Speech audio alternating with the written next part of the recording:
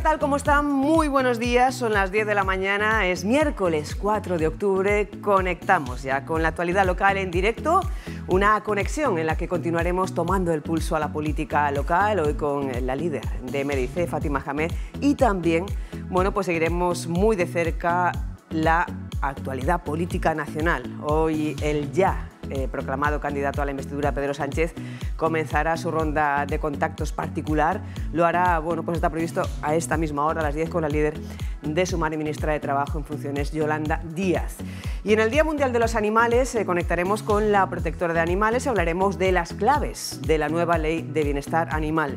Estrenaremos, volveremos a estrenar, seguimos estrenando secciones. Hoy a las once y media hablaremos de salud en Sanamente y con todas las claves para tener una vida equilibrada y saludable con especialistas en diferentes disciplinas. Hoy con nutricionista, Tomás Parra, claves, eh, nos ofrecerá claves para retomar los hábitos de vida saludables después del verano. Si ustedes quieren algún consejo concreto o alguna recomendación, alguna duda, ya saben que pueden enviarnos un WhatsApp al 645 593 418 645 593 418. Todo esto sin perder de vista, como siempre, la calle y todo lo que vaya transcurriendo a lo largo y ancho de la ciudad. A destacar hoy, por ejemplo, los actos centrales eh, de la Policía Nacional eh, por el día de su patrón, Los Ángeles Custodios, que lo celebra hoy con una misa a las 11 y un acto institucional en las murallas reales a las 12. Y también, bueno, pues celebraremos eh, San Francisco de Asís con los hermanos de Cruz Blanca además de, bueno, pues si me permiten tener una conexión con un cariñoso recuerdo, el recuerdo de José Miguel Antúnez, que fallecía este martes de forma repentina dejando a Ceuta conmocionada.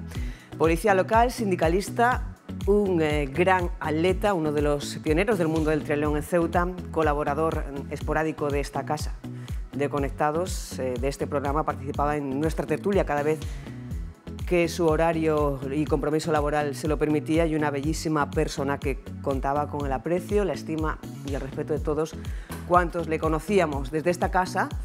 Desde Radio Televisión Ceuta nos unimos al pesar que sienten sus compañeros de la policía local, de ámbito sindical, del mundo de deporte y de todo Ceuta en general. Les enviamos nuestras condolencias y muchísimo ánimo y fuerza a sus familiares, amigos y compañeros. Descansen en paz, amigos.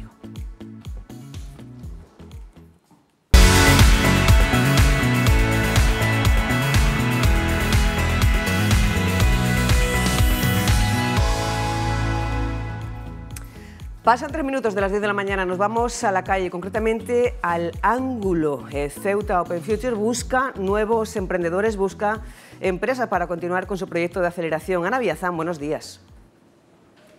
Buenos días. Por eso todos aquellos que tengan entre sus manos, que tengan en mente una idea, un proyecto, que tenga como ingrediente principal la tecnología, están de enhorabuena porque eso es precisamente lo que se está buscando aquí en el ángulo, en las murallas reales, donde se asienta esa iniciativa, el Ceuta Open Future. Hay en marcha una convocatoria, termina el plazo para presentar solicitudes el 23 de octubre. Paola Castaño, ¿cuáles son los requisitos que deben reunir los aspirantes? Bueno, pues el principal es el que precisamente estaba comentando hace un momento, tener un proyecto tecnológico que, que bueno, pues efectivamente que tenga como core la, tecnología, una idea emprendedora incluso. Al final es cierto que nosotros para entrar en programa pues pedimos diferentes requisitos, como que haya un mínimo de tres personas dentro del equipo, que, la tecnología sea, sea, core, que incluso tengan un primer prototipo, una primera prueba de, de concepto de lo que es su proyecto, la idea que quieren ejecutar, pero igualmente que aprovechen, porque al final siempre lo decimos, ¿no? Cada convocatoria depende del total de proyectos que, se inscriben. Entonces, que no se desanimen por decir, oye, es que somos dos, eh, no cumplimos el requisito de tres. No, que se vengan, que aprovechen que tenemos convocatoria abierta, que lo comenten con nosotros. Eh, incluso les podemos incluso guiar a la hora de decir, oye, ¿cómo busco mi tercer compañero? ¿Cómo incorporamos a alguien más al equipo? Así que el que tenga una idea y el que tenga un proyecto, que, que se venga, que se venga al ángulo, pregunte y se inscriba antes del día 23. ¿Qué hay que hacer para inscribirse? Pues es muy sencillo. Directamente en nuestra página web, en ceutaopenfuture.org, van a encontrar que, tienen directamente un, botón bastante grande que dice, oye, presenta tu candidatura, presenta tu proyecto y directamente desde ahí van a ir hacia la inscripción que tienen que rellenar, que es un formulario muy breve, súper sencillo, muy intuitivo y pueden ir rellenándolo y no van a tener problemas. Y de todas maneras, lo de siempre, eh, que si no hay alguna pregunta que no terminan de comprender o algo que eh, dicen, oye, me gustaría revisar antes de enviar este proyecto, que se vengan, que para eso estamos, ¿no? Precisamente. ¿En qué consiste el proceso de selección, Paula? Pues el proceso de selección, a partir de que el día 23 cerremos convocatoria, primero se hará una preselección con todos los que se han inscrito, de ahí saldrá una lista de preseleccionados y esos preseleccionados son los que vendrán a hacer el pitch ante el comité de selección. Ese día cada proyecto pues, viene con su presentación, tiene 10 minutos para presentar el proyecto y bueno, pues ya en base a cómo lo presenten, a cómo sean capaces de, defender su proyecto y respondan a las preguntas que les planteen los miembros del tribunal, pues se hará una selección final que ya se publicará y ahí serán las cinco que empiecen en esta séptima convocatoria las cinco que empiecen y que hagan qué, qué es lo que van a disfrutar toda vez que ya han sido seleccionados, qué es lo que qué servicios se les presta aquí en el Ceuta Open Future. Pues en el momento en el que arrancamos empiezan ocho meses de programa de aceleración de mucho trabajo, de darle un impulso, porque al final el programa va de darle un impulso al proyecto. Entonces, claro, para ese impulso va a tener un acompañamiento brutal por parte de Ceuta Open Future y va a suponer también para ellos echar todo el esfuerzo que tengan en, esos ocho meses encima del proyecto y decir, oye, venga, este es el momento de darle realmente un avance. Eh, ese acompañamiento que hacemos nosotros va eh, sobre todo con las sesiones de mentorización que nosotros hacemos. Dentro de lo que es el ángulo, nosotros tenemos un equipo de mentores y mentoras que son profesionales en diferentes áreas, las áreas que cualquier proyecto va a necesitar. Pues legal, comunicación, modelo de negocio, al final todo lo que necesitas, eh, todas las piezas que te hacen falta para lanzar un proyecto. El día que ellos empiezan aquí, tienen acceso a esos mentores según lo van necesitando, van trabajando con según qué, profesional del equipo y con eso van avanzando. Aparte de eso, bueno, pues entran a formar parte de lo que es la red de Open Future, a compartir este espacio en el que estamos nosotros eh, como oficina, en el que tendrán su puesto para trabajar cuando quieran, totalmente gratuito, como todo lo demás, lo van a compartir con el resto de compañeros que están emprendiendo en este momento o que ya lanzaron su empresa y continúan viniendo aquí ¿no? para seguir aportando al ecosistema sistema, seguimiento, eh, asistencia a eventos del sector, es decir, entran en, en, un proceso que en el que bueno, pues van a poder disfrutar de muchas ventajas algo más que algo más que una familia. Y mientras la séptima convocatoria está en marcha, está organizándose y cociéndose aquí en la Ceuta Open Future el próximo hackathon, que es en pocos días. ¿Qué es el hackathon? Que seguro que muchas personas que nos puedan estar viendo no, no conocen en qué consiste un evento de estas características. Un hackathon es un maratón de programación, es decir, durante tres días, que va a ser 20, 21 y 22 de octubre, eh, desde el viernes 20 por la tarde estaremos aquí en el ángulo, será primero la presentación del evento, pero durante todo el fin de semana lo que va a haber aquí es personas a las que le interese la programación programando. Aquí tenemos un reto encima de la mesa para ese hackathon y el reto es que cada equipo va a construir su propia inteligencia artificial durante el fin de semana. ¿Que parece como muy complicado? No, se puede hacer. En el anterior ya lo hicimos también, con lo cual se puede hacer perfectamente. Eh, durante todo ese fin de semana es eso, pues programar y ponerse a prueba. Al final, para la persona que le interese la programación o que se haya programador o programadora que lleve tiempo programando, este tipo de evento es un reto. Eh, es decir, es poner un poco a prueba tus capacidades, es aprender un poquito más y sobre todo también conocer al resto de personas en Ceuta que están interesadas en esto, están interesadas en programar y con las que al final, bueno, pues a raíz de este tipo de eventos eh, tienes un contacto y puedes empezar pues a, encontrar tu comunidad, básicamente, dentro de, Ceuta.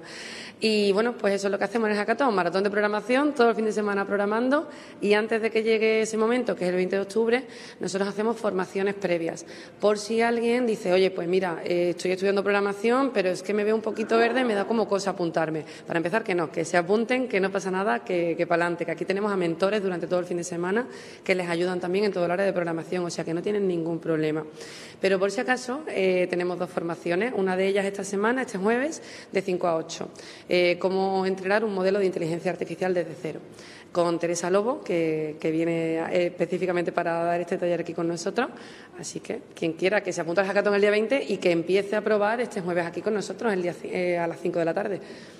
Pues muchas gracias a Paula. No se para aquí en el, Ceuta, en el Ceuta Open Future, donde lo único que no te dan, Susana, es la idea. A partir de ahí, si uno tiene la idea, puede contar con todo un despliegue, con toda una infraestructura para sacarla adelante. ¿Se te ocurre alguna, Ana?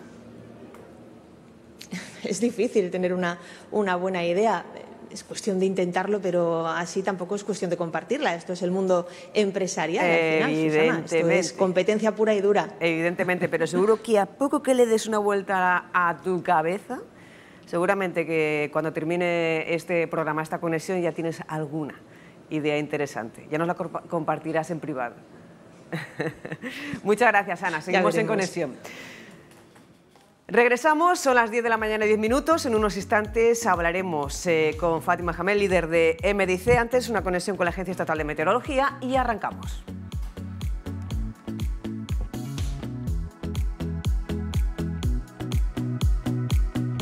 Este es el panorama que nos anuncia la Agencia Estatal para hoy, eh, de cielo nuboso, abriéndose claros ya por la tarde. Las temperaturas continúan en torno a los 22 grados de mínima y los 25 de máxima y el viento sopla de levante flojo.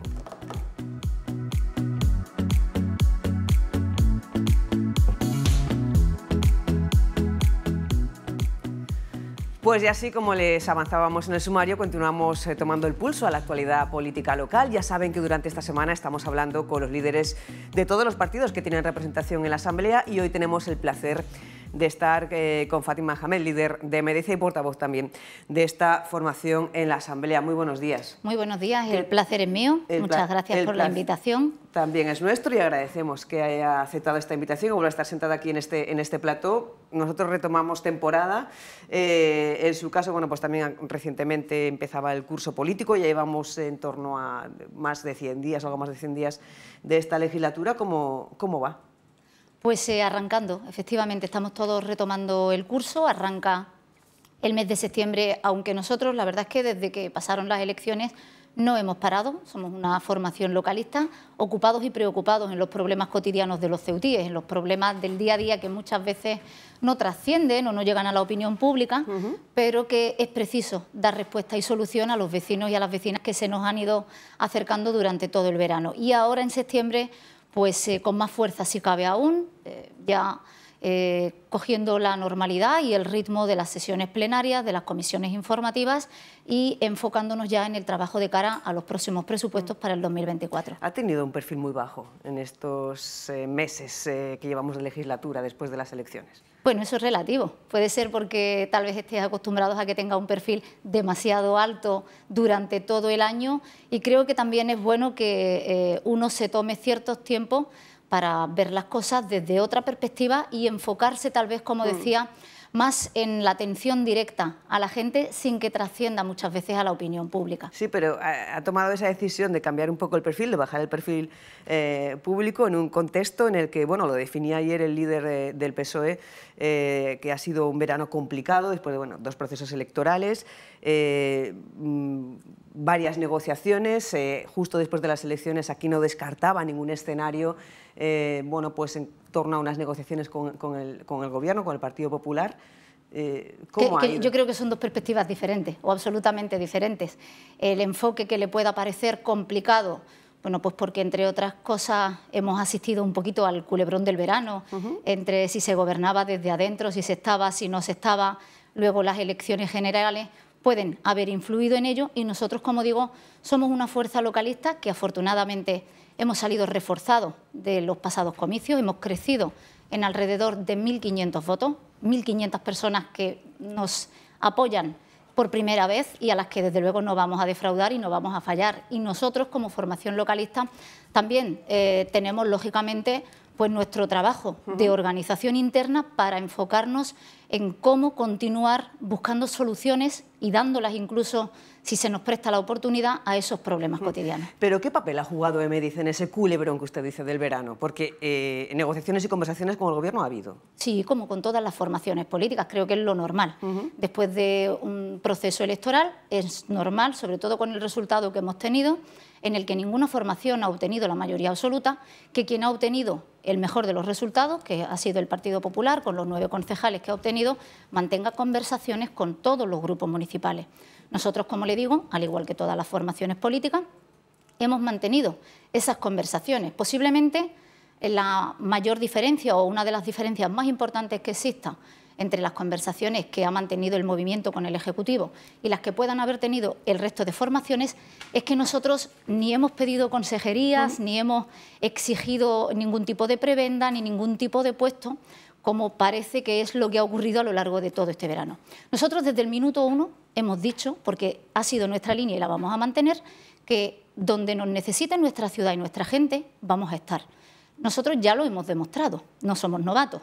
En la legislatura pasada estuvimos en la época de pandemia que tan duramente nos azotó al pie del cañón.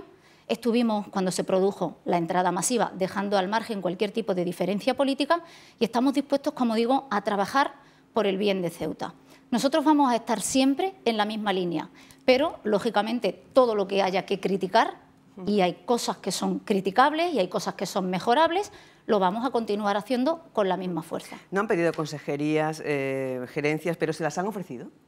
A nosotros eh, se nos ha llegado a plantear la posibilidad de una vicepresidencia, la posibilidad de gerencias, pero nosotros siempre hemos dicho que no estamos en política para eso. Nosotros consideramos que para conseguir cosas en política no hace falta tener un cargo, tener un puesto, tener un nombre. De hecho, eh, si no, no tendría sentido el papel de la oposición. Y nosotros siempre hemos trabajado arduamente y solo en estos tres meses hemos conseguido, por ejemplo, que se aprueben esas becas eh, incentivadoras para las personas que terminan secundaria, para nuestra gente joven, de 150 euros a cada uno de estos alumnos y alumnas, que puedo, eh, estoy en disposición de decir hoy que ya se están redactando las bases y que pronto verán la luz, porque consideramos que tenemos un alto nivel de fracaso escolar que nuestra, nuestra ciudad no se lo puede permitir y esa es una forma también de incentivar un poco. Por lo tanto, estando en la oposición se puede trabajar y se pueden conseguir cosas. De entrada, esa ayuda, ese pequeño incentivo para nuestra gente joven y también conseguir una partida presupuestaria por fin para la clínica de radioterapia. Una clínica de radioterapia muy demandada en nuestra ciudad, no solo por los pacientes oncológicos, sino también por los profesionales de la sanidad. De hecho, Creo que ayer había una entrevista en los medios de comunicación en la que se manifestaba por parte de uno de los dos oncólogos que hay en nuestra ciudad, sin darse dato de quién era, que la situación por la que atraviesan es eh, penosa, porque no cuentan con los recursos suficientes para atender a los pacientes oncológicos, que menos que la ciudad ponga de su parte. Nosotros queremos que la ciudad ponga de su parte, dotando presupuestariamente lo que necesitamos.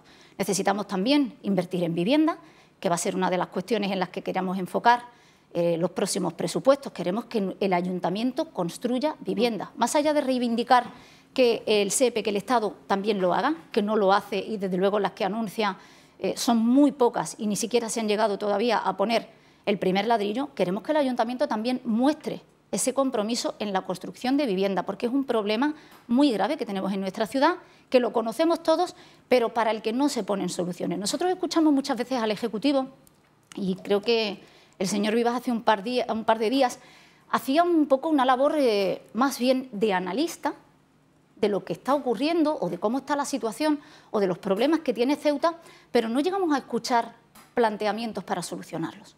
Y nosotros queremos ser eh, una parte importante mm. en la aportación de esas soluciones.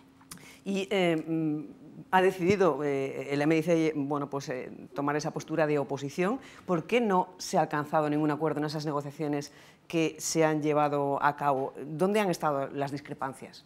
Pues mire, no, realmente nosotros, a nosotros nos, ni hemos planteado, como le decía, tener consejerías para trabajar por la ciudad, ni tampoco se nos ha ofrecido ni aceptaríamos formar parte del Gobierno. Ha dicho que les, que les, que les han hablado de consejerías y de gerencias, o vicepresidencias. De vicepresidencias y de gerencias, pero como ve, a día de hoy nosotros ni tenemos vicepresidencias ni tenemos gerencias. Y a nosotros ese tipo de planteamientos que se hacen como quimeras, que son cosas etéreas, que no se concretan, no nos pueden turbar ni pueden interrumpir el trabajo que hacemos.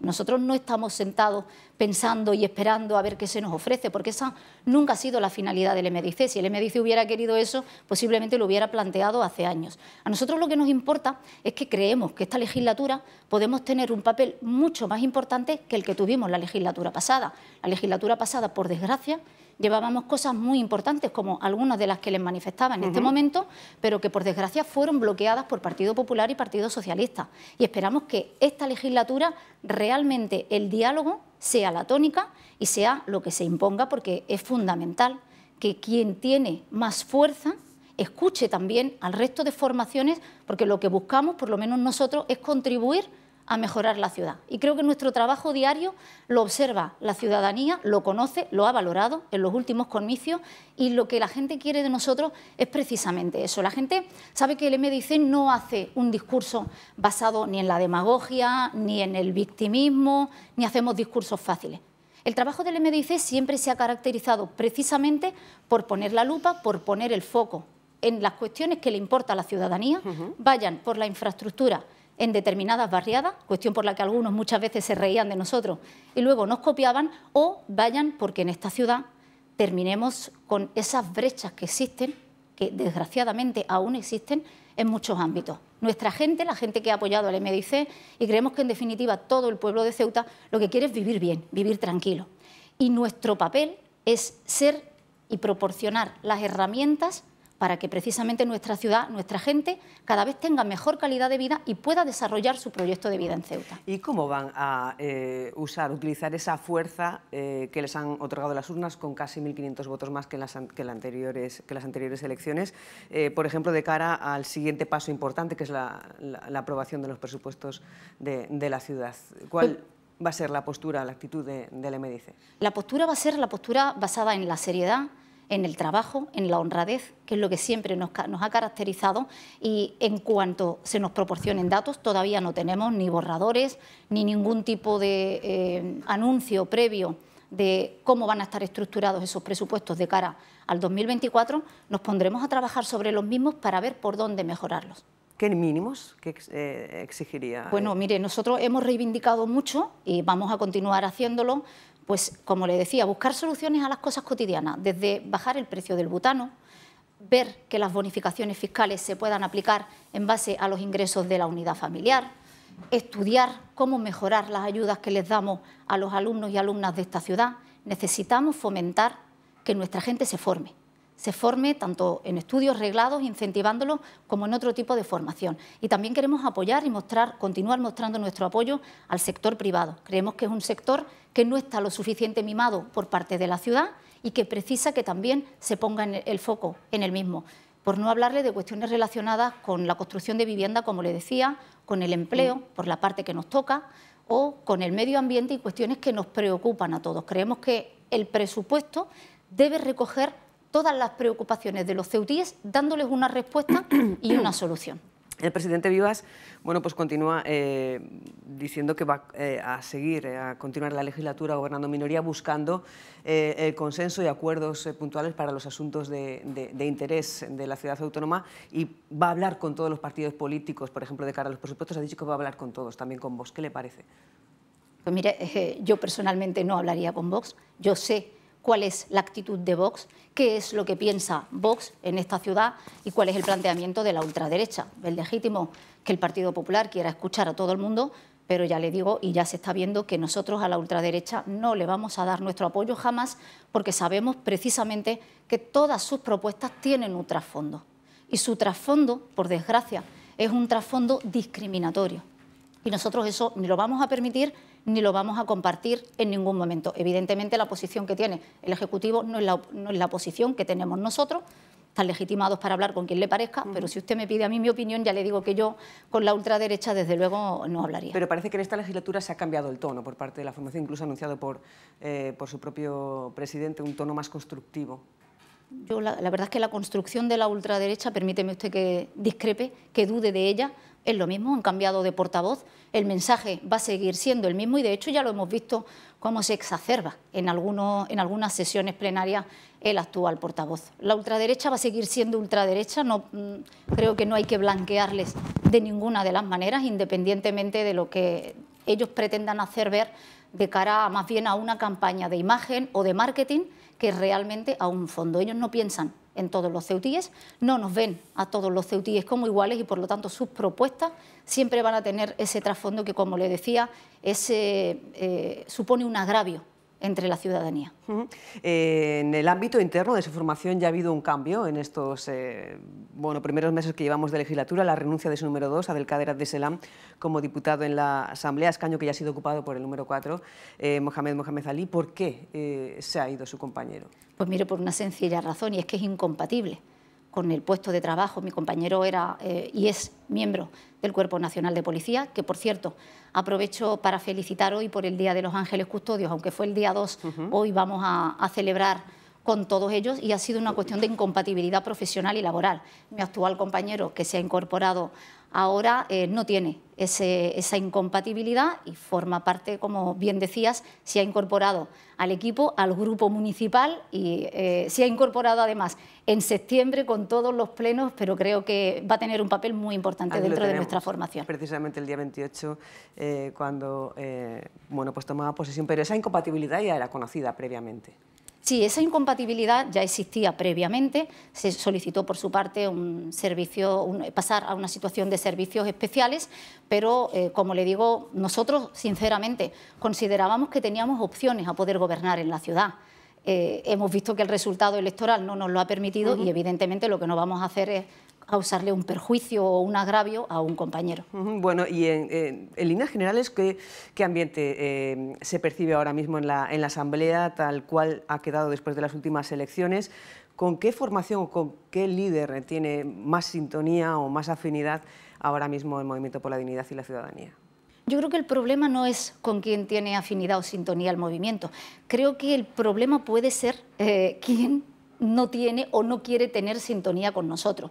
Mire, nosotros nos hemos... ¿A qué se refiere? Nosotros nos hemos caracterizado, se lo explico, eh, para bien o para mal, por decir las cosas como son. Y ha habido veces que no hemos tenido eh, más remedio, porque creo que la ciudadanía merece transparencia y merece que se les ponga toda la información, que incluso criticar determinadas formas de hacer política de personas que están en la oposición. Y creo que hay quien eh, está en política y se toma la política como agravios personales, se lo lleva todo al terreno personal. Nosotros cuando eh, hacemos cualquier eh, exposición, cuando damos un argumento, lo damos siempre eh, basado en datos reales, en una información más que contrastada y no solemos decir las cosas por decir. Nosotros hemos criticado, pues ya le digo, en la legislatura pasada, nos parecía muy grave que el Partido Socialista nos votase en contra a tener una partida para la clínica de radioterapia o para construir vivienda, porque no comprendíamos, pero es una crítica política. Sin embargo, creo que eh, eh, su actual eh, portavoz cree que son críticas personales. Ya le digo que por lo menos nosotros nunca hacemos crítica relacionada con el tema personal, hacemos crítica política única y exclusivamente porque creemos que la ciudadanía nos ha puesto para que no seamos hipócritas, para que digamos las cosas como son, sobre todo en una ciudad como esta, que es un pueblo y que todavía no, a lo mejor no ha llegado a la puerta de la calle y la gente te está diciendo lo que piensa, las cosas que les indignan y que creen que hay que exponer en el Pleno. Y nosotros hemos sido, como digo, plenamente transparentes, igual que hemos llevado al juzgado o al Partido Popular las veces que hemos considerado necesario porque entendíamos que había irregularidades que no quedaban suficientemente aclaradas. Nosotros tenemos una línea de trabajo absolutamente objetiva y que va a mirar siempre por el interés general. Perdónenme esta expresión que parece que desgraciadamente en los últimos tiempos está muy manida, pero creo que nuestra trayectoria, las personas que confían en el movimiento no se merecen menos y lo saben. Y las personas que confían en nosotros lo hacen precisamente porque saben que no nos casamos con nadie y que no miramos para otro lado. Mm. Ha empezado respondiendo esta pregunta hablando de la oposición, dirigiéndose a la oposición. Eh, da a entender quizá que tiene evidente, Evidentemente, sintonía con el portavoz de Vox, ninguna.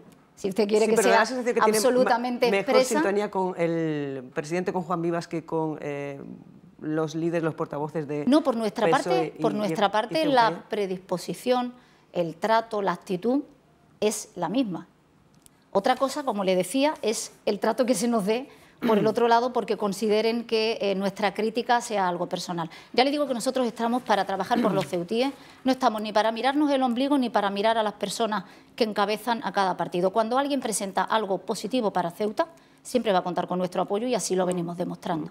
Y hablando de interés general, hoy comienza la ronda de contactos particular. Está en estos momentos, eh, bueno, pues según la previsión y la programación, eh, el presidente del Gobierno en funciones y candidato a la investidura, Pedro Sánchez, eh, pues reunido con la líder de, de, Sumar, Yolanda Díaz.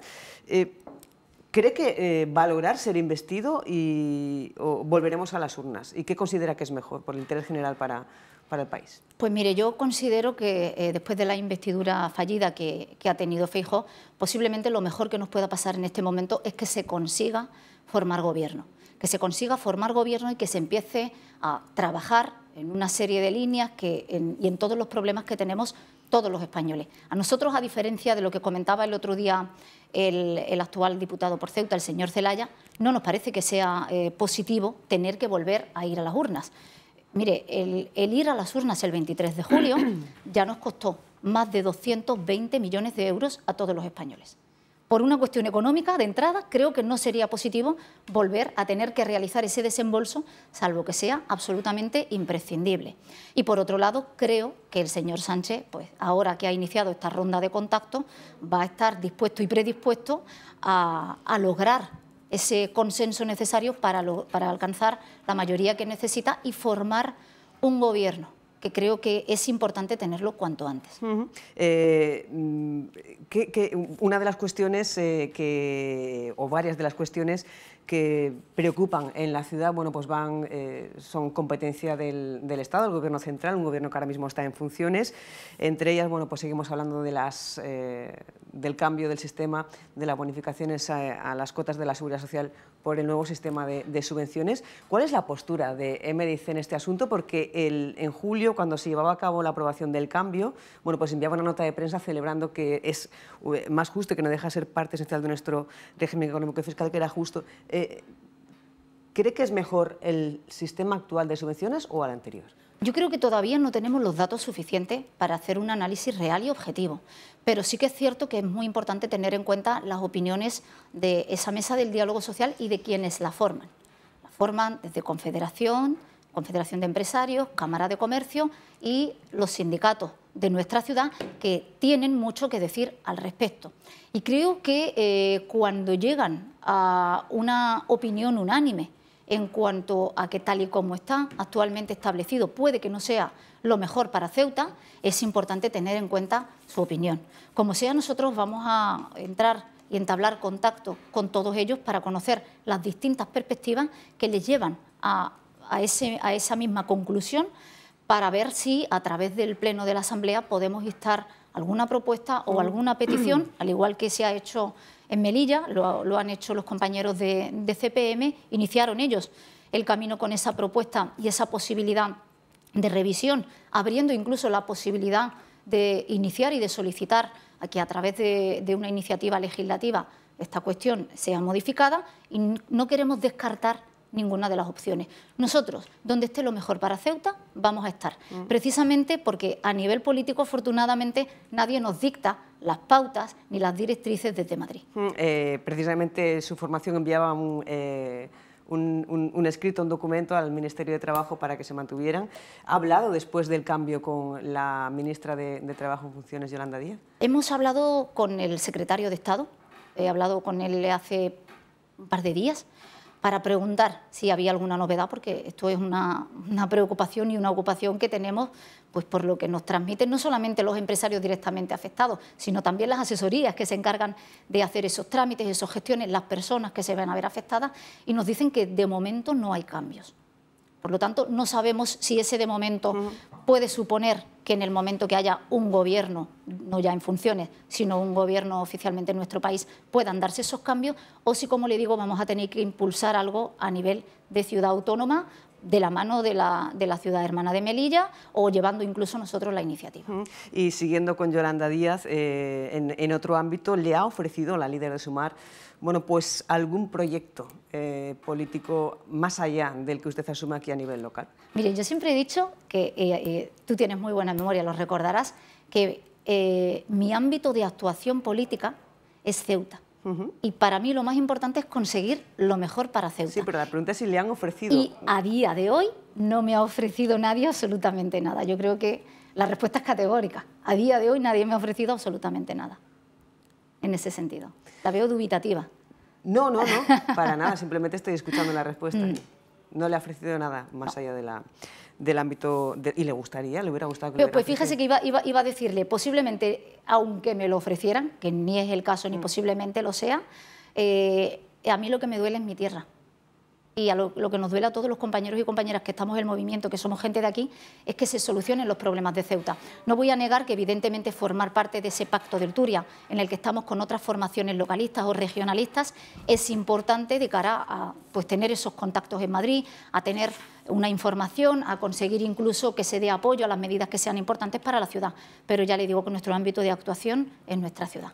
Bueno, pues en nuestra ciudad seguiremos conectados eh, y esperando bueno, pues nuevos acontecimientos, tanto que lo que nos depare a nivel nacional como a nivel local. Fátima Jamed, muchísimas gracias. Muchas gracias a vosotros y permíteme, aunque sea en último lugar, expresar eh, pues nuestro más sentido pésame por el fallecimiento de Antúnez, eh, una persona muy querida, muy querida por, por toda la ciudadanía y que desde luego nos tiene a todos, desde que tuvimos conocimiento en el día de ayer de su fallecimiento, pues un poco en shock. Que descanse en paz. La verdad que sí, ha sido un verdadero palazo mm. para, toda, para toda la ciudad. Yo me uno también a esas condolencias. Descansa Así es la vida. Insistimos, Fátima Jamed, muchísimas gracias. Muchísimas gracias Un placer, a como, siempre. Imagino que ya empezará a incrementar ahora su nivel de comparecencias públicas. Veo, que me has echado de menos. ¿Eh? Aquí tiene la puerta abierta para cuando usted quiera. Así será, muchísimas gracias Un placer, como siempre. Gracias. 10 de la mañana, 36 minutos. Vamos a conectar ahora mismo con las eh, portadas, con las noticias que destacan los medios de comunicación local hoy en sus portadas. Así que vamos a comprobarlo aquí en el Video Wall, comenzando como siempre por nuestro portal digital Radio Televisión Ceuta, rtvc.es, donde pueden tener toda la información al local en directo al instante y la tele pública hoy en portada en estos momentos. Son las 10 y 36 destaca pues este titular que van a ver ahora, ya lo tenemos aquí, tras el fracaso de Fijó llega el turno de Sánchez, bueno pues esa eh, ronda de contactos que eh, ya propios y personales que empieza hoy, el ya candidato a la investidura Pedro Sánchez en estos momentos con la líder de, Sumar, Yolanda Díaz. Eh, también bueno, pues destacan eh, los compañeros de informativos de la pública esa eh, entrevista que se hacía ayer al, líder del PSOE, Juan Gutiérrez, contestando al diputado por Ceuta, Javier Zelaya, y una entrevista al senador por Ceuta, Hakim Abdeselam, que valora lo aprobado en el primer pleno de la Cámara Alta. Vamos con más portadas, con más noticias de los compañeros de los medios de comunicación. En este caso nos vamos al Faro, que bueno, pues destaca eh, esa información, ese avance de la ciudad en el proyecto del futuro mercado de terrones, con esa eh, fotografía de este proyecto piloto. En breve arrancarán las obras de construcción y en cuatro meses de un equipamiento provisional. La, la Consejería del Comercio y Procesa invertirán dos millones y medio de euros en un edificio nuevo con una plaza pública en la terraza para impulsar la actividad en la barriada. Más titulares, más medios de comunicación. El pueblo de Ceuta anuncia y abre la portada de hoy con la noticia de la modernización del parque de bomberos con varias actuaciones que destacan en el eh, subtitular, una de las grandes actuaciones del proyecto que tiene previsto iniciarse en diciembre será la construcción de un nuevo gimnasio en una superficie de 175 metros cuadrados en la segunda planta con una inversión de 286.000 euros. Y buscamos un par de portadas más. Ceuta Actualidad. Bueno, pues esta noticia que nos tiene, este es el periódico de Ceuta que nos eh, destaca esta noticia que nos tiene consternados a todos, el fallecimiento del deportista, sindicalista y policía local José Miguel Antúnez, eh, que, bueno, pues una noticia que nunca hubiéramos querido contar ninguno de los compañeros sin ninguna duda. 10 de la mañana, 39 minutos. En unos minutos vamos a analizar la portada con nuestros analistas de hoy. Antes nos vamos a la calle con Alicia Urbano, que tiene un testimonio de un héroe, de un ángel para un niño que bueno, pues, eh, corrió peligro eh, hace unos días en aguas de la Almadraba. Alicia Urbano, buenos días, cuéntanos. El pasado domingo, alrededor de las 11 de la noche, un menor extranjero no acompañado pasaba a nado desde Castillejos hasta Ceuta y se encontraba en serios problemas en la zona de la esplanada de Juan 23, en el agua. Por allí y a esa hora pasaba justamente su ángel de la guardia, Nabil García, que no dudaba un momento en lanzarse al mar para ayudar a este joven. Estamos con él, estamos con el otro protagonista de este suceso que nos va a contar exactamente qué pasó esa noche. Buenos días, Nabil. Hola, buenos días. Cuéntanos, ¿qué pasó, ¿qué pasó la noche del domingo? Pues la noche del domingo, como estaba contando, fui a andar como rutina por la noche y al llegar al puente de Juan 23 empecé a escuchar ruido en el mar, como alguien pidiendo socorro, llorando, pidiendo socorro, socorro. Y lo primero que hice pues es eh, lo siguiente que que le diera a la persona que, que diera palmada para ver dónde estaba ubicado, ¿me entiendes? Y lo primero que hice pues fue lanzarme, lanzarme al mar, ¿me entiendes? Sin pensármelo, quitarme lo que tenía puesto, ¿me entiendes? Me entré con los pantalones y todo y me lancé al mar a socorrer a esa persona porque al parecer eh, partía a nado ¿no? desde la mezquita de Castillejo y estaba enredado en las boyas de, la Almadraba. Sí, eh, supuestamente por lo que me contó el chico que llevaba cinco horas en el mar y, que entró desde, desde Castillo a nado. ¿Cómo conseguiste sacarlo de ahí? Pues intenté nadar, llegar hasta las boyas e intenté quitarle quitarle la, la red que llevaba en las piernas, ¿me entiendes? Y una vez quitado le, dije que se pusiera en mi espalda y que, se, pusiera con las piernas a, ayudarme, ¿me entiendes? De mientras que yo iba con la mano, una vez sacado del agua, lo puse en el suelo y lo primero que hice fue llamar a los servicios de emergencia, poner en conocimiento a la Policía Nacional y de Cruz Roja una vez que llegaron Cruz Roja y la Policía Nacional, ya se pusieron con él, se pusieron en conocimiento con el chaval y... Porque en, qué condiciones, cuando ya llegáis a la orilla, en qué condiciones estaba él? El, chico estaba, estaba malamente, muy mal. Estaba agotado, supongo, tenía alguna herida, ¿no? En la pierna me comentaba. una herida en la pierna de, de estar ahí enganchado en la red y tenía una herida. ¿Y qué te comenta? Bueno, no sé si en ese transcurso en el que supongo que durante el nado, no, eh, la natación no, porque no eh, la fuerza os, os agotaríais los dos, pero una vez que ya llegáis a la orilla, ¿qué te cuentas? Eh, no sé si te habla de su familia, si, se, si quería quedarse. sí, me habló de su familia y que que le gustaría que, su familia supieran que, él ha entrado y eso. Y lo primero que me dijo, me, me, deja el teléfono para llamar a mi madre, le di el teléfono y cuando le di el teléfono me dice, no me sé el número. Entonces no pudo contactarlo. Y, lo que le dije yo, le apunté en un papelito mi número de teléfono, le digo, mira, lo que necesite me llama. Pero no he vuelto a saber nada de él, ni sé dónde está, ni nada. has intentado localizarme, Costa, ¿no? Sí, he intentado localizarlo eh, de hecho, eh, fui a preguntar, eh, fui a preguntar por a, los chiquillos que están en el centro de la Esperanza y nadie, nadie me ha, comentado nada. ¿Qué, sensación se te queda a ti después de haber vivido esta experiencia? Pues todavía no me lo creo que, la verdad, no me lo creo que he salvado una vida y lo volvería a hacer una y otra vez. Pues muchísimas gracias tanto por tu acto como por contarnos tu experiencia, Nabil. Esta es la, experiencia de, este joven que no dudó un momento en tirarse al agua para salvar al, menor de unos 14, 15 años que estaba en serios apuros. Susana, aquí vemos que, los héroes de a pie no llevan capa y, que bueno, que en Ceuta tenemos.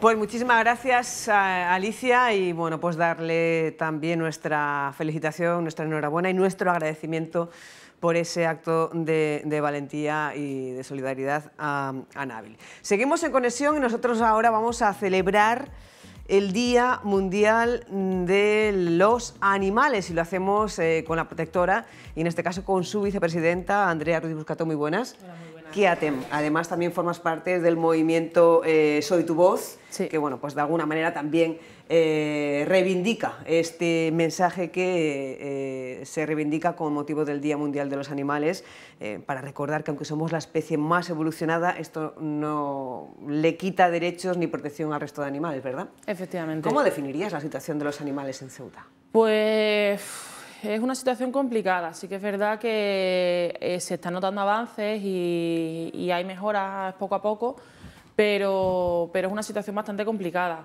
Eh, tanto mm, por la cantidad de animales que malviven en las calles, porque es como yo siempre lo defino, malviven eh, o sobreviven. la cantidad de animales, sobre todo gatos, que hay muchísimos gatos callejeros, gatos abandonados. Se piensan que hay alrededor de unos 5.000, 6.000 gatos en nuestras calles. Y, bueno, eh, la situación en la que nos encontramos la protectora, la perrera y, todos los organismos que acogemos animales en nuestras instalaciones. ¿Y cómo se podría mejorar esa situación? ¿De quién es competencia o responsabilidad que esté pues, así? Lógicamente, la responsabilidad es de Sanidad Animales, de la Consejería de, Sanidad en este caso. Eh, ya te digo que se están notando avances, pero bueno, es algo muy escalonado, algo muy eh, lento y no podemos asumir tantísimos casos como nos encontramos al día. Eh, hay muchísimos, por ejemplo, eh, yo te hablo del tema de los gatos, por ejemplo, muchísimos mm. animales en la calle. Eh, hay ahora mismo una TNR que, bueno, pues se gestiona de aquella manera y, la verdad que... Para que todos nos pongamos en contexto, una TNR es... Es la campaña de esterilización de los animales callejeros. Eh, se llama TNR o se llama eh, proyecto, el, CER, que es captura, esterilización y retorno. Retorno siempre significa retornar al mismo sitio donde se ha encontrado. Porque antes se hacía CES, que es suelta, que es decir, tú lo coges en un sitio y si ahí molesta, lo sueltas en cualquier otro sitio. ¿Qué pasa? Que ese animal va a intentar volver a su zona. Tú lo coges en el príncipe y lo sueltas en el hacho y el mm. animal desde el hacho hasta el príncipe va a intentar volver. Y em, ¿No se está llevando a cabo la TNR o sí? ¿Se está, esterilizando eh, a, los animales callejeros? Se está llevando a cabo, pero eh, durante muchos meses ha estado paralizada eh, por distintos motivos. la asociación que lo gestiona no recibió la subvención, entonces paralizó la TNR la ciudad no les paga, también porque eh, no terminaban de justificar las cuentas, que me parece algo totalmente lógico. Si no justificas, no, puede, no te pueden seguir dando dinero público, porque al final es un dinero de todos y no se puede eh, gestionar eh, de mala manera. Pero claro, entonces al final lo que durante estos meses que ha estado paralizada ni se ha podido capturar estos animales y han seguido reproduciéndose en las calles. Con lo cual, de alguna manera, todo el trabajo previo se ha podido medio que perder. Claro, efectivamente. Yo, por ejemplo, formé parte de una TNR hace cuestión de un año, cogimos 1.150 animales eh, hay muchísimas colonias que estaban medio controladas, pero claro, al no terminar de controlarlas, en el momento en el que dejas dos meses, tres meses o cuatro meses sin seguir estilizando esos animales, se te vuelve a hmm. reproducir y esa colonia se descontrola completamente. Y si nos vamos ahora a la Asociación Protectora de Animales, concretamente, recientemente denunciabais que eh, bueno, puede llegar, corre el peligro de que la protectora llegue al colapso porque se está bloqueando las adopciones que venían siendo habituales a Francia. Sí, eh, bueno, durante, a partir de la pandemia se paralizó el tema de los viajes a Francia, lógicamente, por el problema sanitario que teníamos. Después, por ciertos motivos, no se pudo, no se pudo retomar. Y, ahora lo habíamos, lo habíamos vuelto a conseguir, que, Francia nos aceptase tener bueno, eh, coger los animales de aquí de la protectora. han sido muchos meses de negociaciones, muchos meses de, contacto con, con Luc, que es nuestro contacto allí en Francia, y él es el que se ha movido eh, para hacernos las traducciones, para hablar con, los spas allí. Y de la noche a la mañana, el día antes del viaje, nos llega una notificación que se nos prohíbe la salida de estos animales a Francia. Y todo ello, todo ello es supuestamente porque pertenecemos a un tercer país que no pertenece a la Unión Europea. Es decir, nos consideran como si los animales estuviesen en Marruecos y no en España, como realmente estamos. Unos animales que han hecho todo su protocolo sanitario con veterinarios eh, españoles, con toda la normativa eh, española y europea, que tienen un pasaporte o una cartilla de vacunación española y se los considera como si fuesen, como si viniesen provenientes de Marruecos. Y eso se nos es lo que nos ha provocado que nos cierre las puertas en, el puerto y, lógicamente, nos cierre las puertas en Francia. ¿Y eso ha sido ahora? Sí. Eso igualmente era una normativa supuestamente que estaba en vigor, que siempre se había permitido, ya que se entendía que esos animales debían salir de la ciudad y debían eh, llegar a Francia por evitar el colapso en las instalaciones, porque son adopciones, porque son animales que pueden tener allí. De hecho, seguramente si esos animales hubiesen salido el, día 22, creo que salíamos, eh, a día de hoy ya todos estarían en una casa, porque el nivel de adopciones que hay en Francia es abismal. Mm, porque ¿Cuál es la situación ahora en la protectora? ¿Cuántos perros y cuántos gatos hay?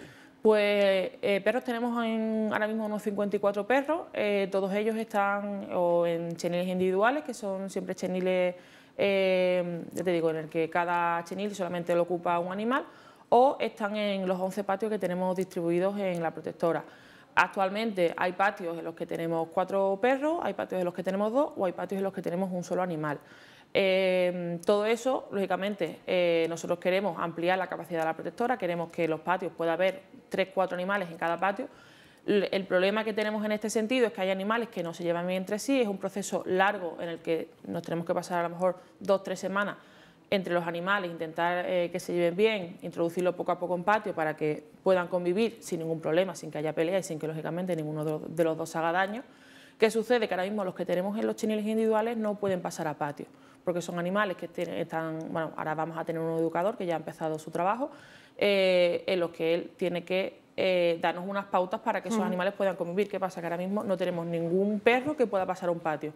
Eso nos provoca un total colapso porque ni pueden ser adoptados, porque no nos permiten que esos animales que ya tienen familias en Francia se fuesen adoptados, ni podemos seguir metiendo animales en, patio, lo que eh, provoca que en un espacio en el que pueda haber cuatro perros solamente haya uno o dos, y los chineles tampoco podemos liberarlos por lo mismo, porque no son animales ni que son adoptables por su situación actual, ni podemos liberar ese espacio porque no podemos pasar la patio. ¿Y cuál sería la solución eh, inmediata o la solución más rápida que, pues y más urgente que se pueda...? Lógicamente la solución más rápida es que eh, tanto el gobierno local como el gobierno estatal se pongan de acuerdo, nos pongan una solución a este problema que tenemos en Ceuta eh, y que se facilite la salida de estos 19 animales a Francia más teniendo en cuenta que eh, Ceuta sí está enviando animales a, otros países de la Unión Europea. A través de otras asociaciones de Ceuta se están enviando gatos eh, adoptados a Francia, Alemania y el, Reino Unido. Reino Unido que ahora mismo bueno, no está en la Unión Europea, pero bueno, es un país eh, fuera, por así decirlo. Si nosotros somos un tercer país, ellos también pertenecen a un tercer país, por así decirlo.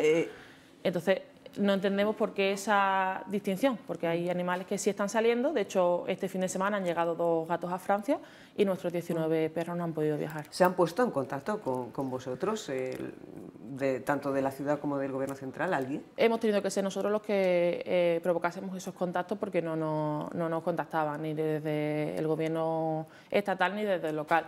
Estamos en contacto con la Consejería de Sanidad y también estamos eh, hablando con miembros del Ministerio de Agricultura, que es el que nos ha paralizado la salida de, estos animales. ¿Y qué les dicen?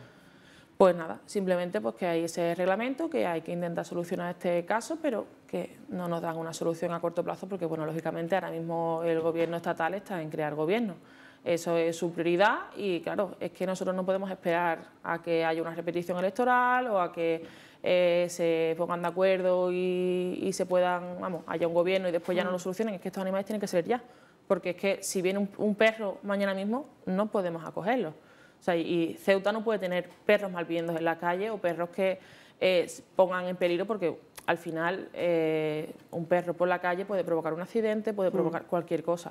Entonces, tenemos que poner una solución ya. Mm. ¿Sigue el ritmo de abandonos de, mascotas que, que, venía habiendo en los últimos meses? Sí, la verdad que sí, que sigue, sobre todo ahora mismo han sido muchísimos cachorros. Durante el verano em, notamos que había abandonos, pero quizá no tanto como los que nos estábamos esperando que podía haber durante ese verano, y ha sido finalizar el verano y la cantidad de camadas eh, de cachorros, eh, pastor, mm, pastor belga o malinois, eh, o, o mastines está siendo abismal. De hecho, hace un par de días nos dejaron seis cachorros metidos en el contenedor de la basura, de allí de la protectora, en una bolsa. Hace poco fueron otros seis, otros diez un poco antes, ocho más que nos dejaron en un cubo, en una olla, en la puerta. Y al final eso es, es, lo peor porque son animales muy pequeños, la mayoría han sido lactantes no han podido sobrevivir porque sin madre es muy difícil y aparte pues eh, contrayeron una enfermedad y, no, hemos podido sacarlos adelante. Hay eh, cierto temor porque eh, recordemos que el pasado 29 de, septiembre, el pasado viernes, entraba en vigor la nueva ley de bienestar animal con algunas, con varias novedades y hay cierto temor en que esta ley pueda incrementar el número de abandonos. ¿Compartes ese, temor, esa, preocupación? Yo creo que en la protectora siempre tenemos la cosa de que nos ponemos en lo peor. siempre intentamos adelantarnos a todo y sí que es verdad que está ese miedo, ese temor y sobre todo, bueno, creo que eh, Ceuta y España en este caso en tema de conciencia animal está muy atrasada con respecto a otros países europeos, por ejemplo, y entonces nosotros siempre intentamos adelantarnos a toda esa situación. Eh, creo que la ley tiene muchas cosas buenas, muchas cosas, por ejemplo, hace poco creo que ya han puesto la primera multa por dejar atado un animal en la puerta de una farmacia, algo que me parece totalmente lógico porque mm. yo aquí lo veo. Eh, gente que deja atado a los perros se va y llega a los 20 minutos. Y, eso yo creo que es un avance bastante importante. Pero al mismo tiempo sí que es verdad que hay ciertas cuestiones que, nos preocupan, eh, de que puede incrementar el tema del abandono o, incluso los animales de caza que están excluidos en la ley, algo que no, entendemos. Eh, si te parece, Andrea, vamos a, repasar en un mini vídeo que, ha publicado la, la, Policía Nacional, bueno, pues algunas de las novedades que se incluyen en esta nueva ley de bienestar animal. Puedo dejar a mi perro atado en la puerta del supermercado mientras hago una compra rápida. Ilegal. Dejar al perro atado en la puerta de cualquier establecimiento puede suponer una multa de hasta 10.000 euros. Si solo es un momentito y no hace mucho calor, puedo dejar a mi animal en el coche. Ilegal. No puedes dejarlo encerrado dentro de un vehículo o en condiciones térmicas que pongan en peligro su vida. Puedo dejar a mi perro varios días solo en casa si tiene agua y comida suficiente. Ilegal. No se puede dejar sin supervisión a los perros durante más de 24 horas consecutivas. Si se trata de otro tipo de animales de compañía, este plazo aumenta hasta los 3 días. Si mi animal de compañía o silvestre en cautividad desaparece, debe comunicarlo a las autoridades. Verdadero, y además esta comunicación deberá realizarse antes de 48 horas. Puedo mantener a mi perro o gato de forma permanente en la terraza. Ilegal. Es una infracción grave mantenerlos de forma permanente en sótanos, terrazas, patios o balcones o similares. No puedo utilizar collares eléctricos para educar a mi perro. Verdadero. Se prohíbe el uso de cualquier herramienta que pueda causar lesiones al animal. ¿Qué te parecen estas novedades, eh, Andrea? Pues la verdad que yo estoy totalmente de acuerdo en todas las, novedades estas que, ha comentado, que se ha comentado en el vídeo. Eh, yo, por ejemplo, no concibo el tema de dejar a tu animal X tiempo en casa sin supervisión. Hace poco hemos rescatado una gatita que ha estado tres semanas eh, totalmente sola dentro de la vivienda, sin agua ni comida.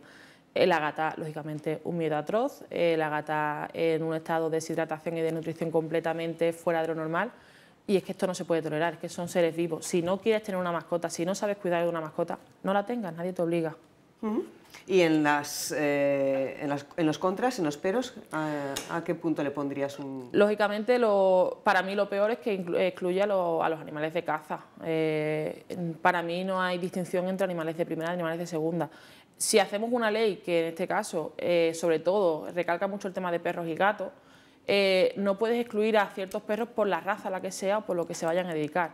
Eh, cuando además, bueno, para nosotras, lógicamente, la caza en sí no estamos de acuerdo, no estamos de acuerdo y sabemos que además hay, no todo, lógicamente, que ahora se me echará mucho encima, pero hay muchísimos cazadores que al final cuando su animal no sirve, acaban deshaciéndose de, los animales. Nosotros en años anteriores, no estaba yo en la Junta, pero sí que no, me lo han comentado los compañeros, cuando volvíamos de los viajes a Francia, los que liberábamos espacios, íbamos a, los galgueros y animales que iban a ser sacrificados porque ya no, no valían para la caza, lo traíamos a, la ciudad.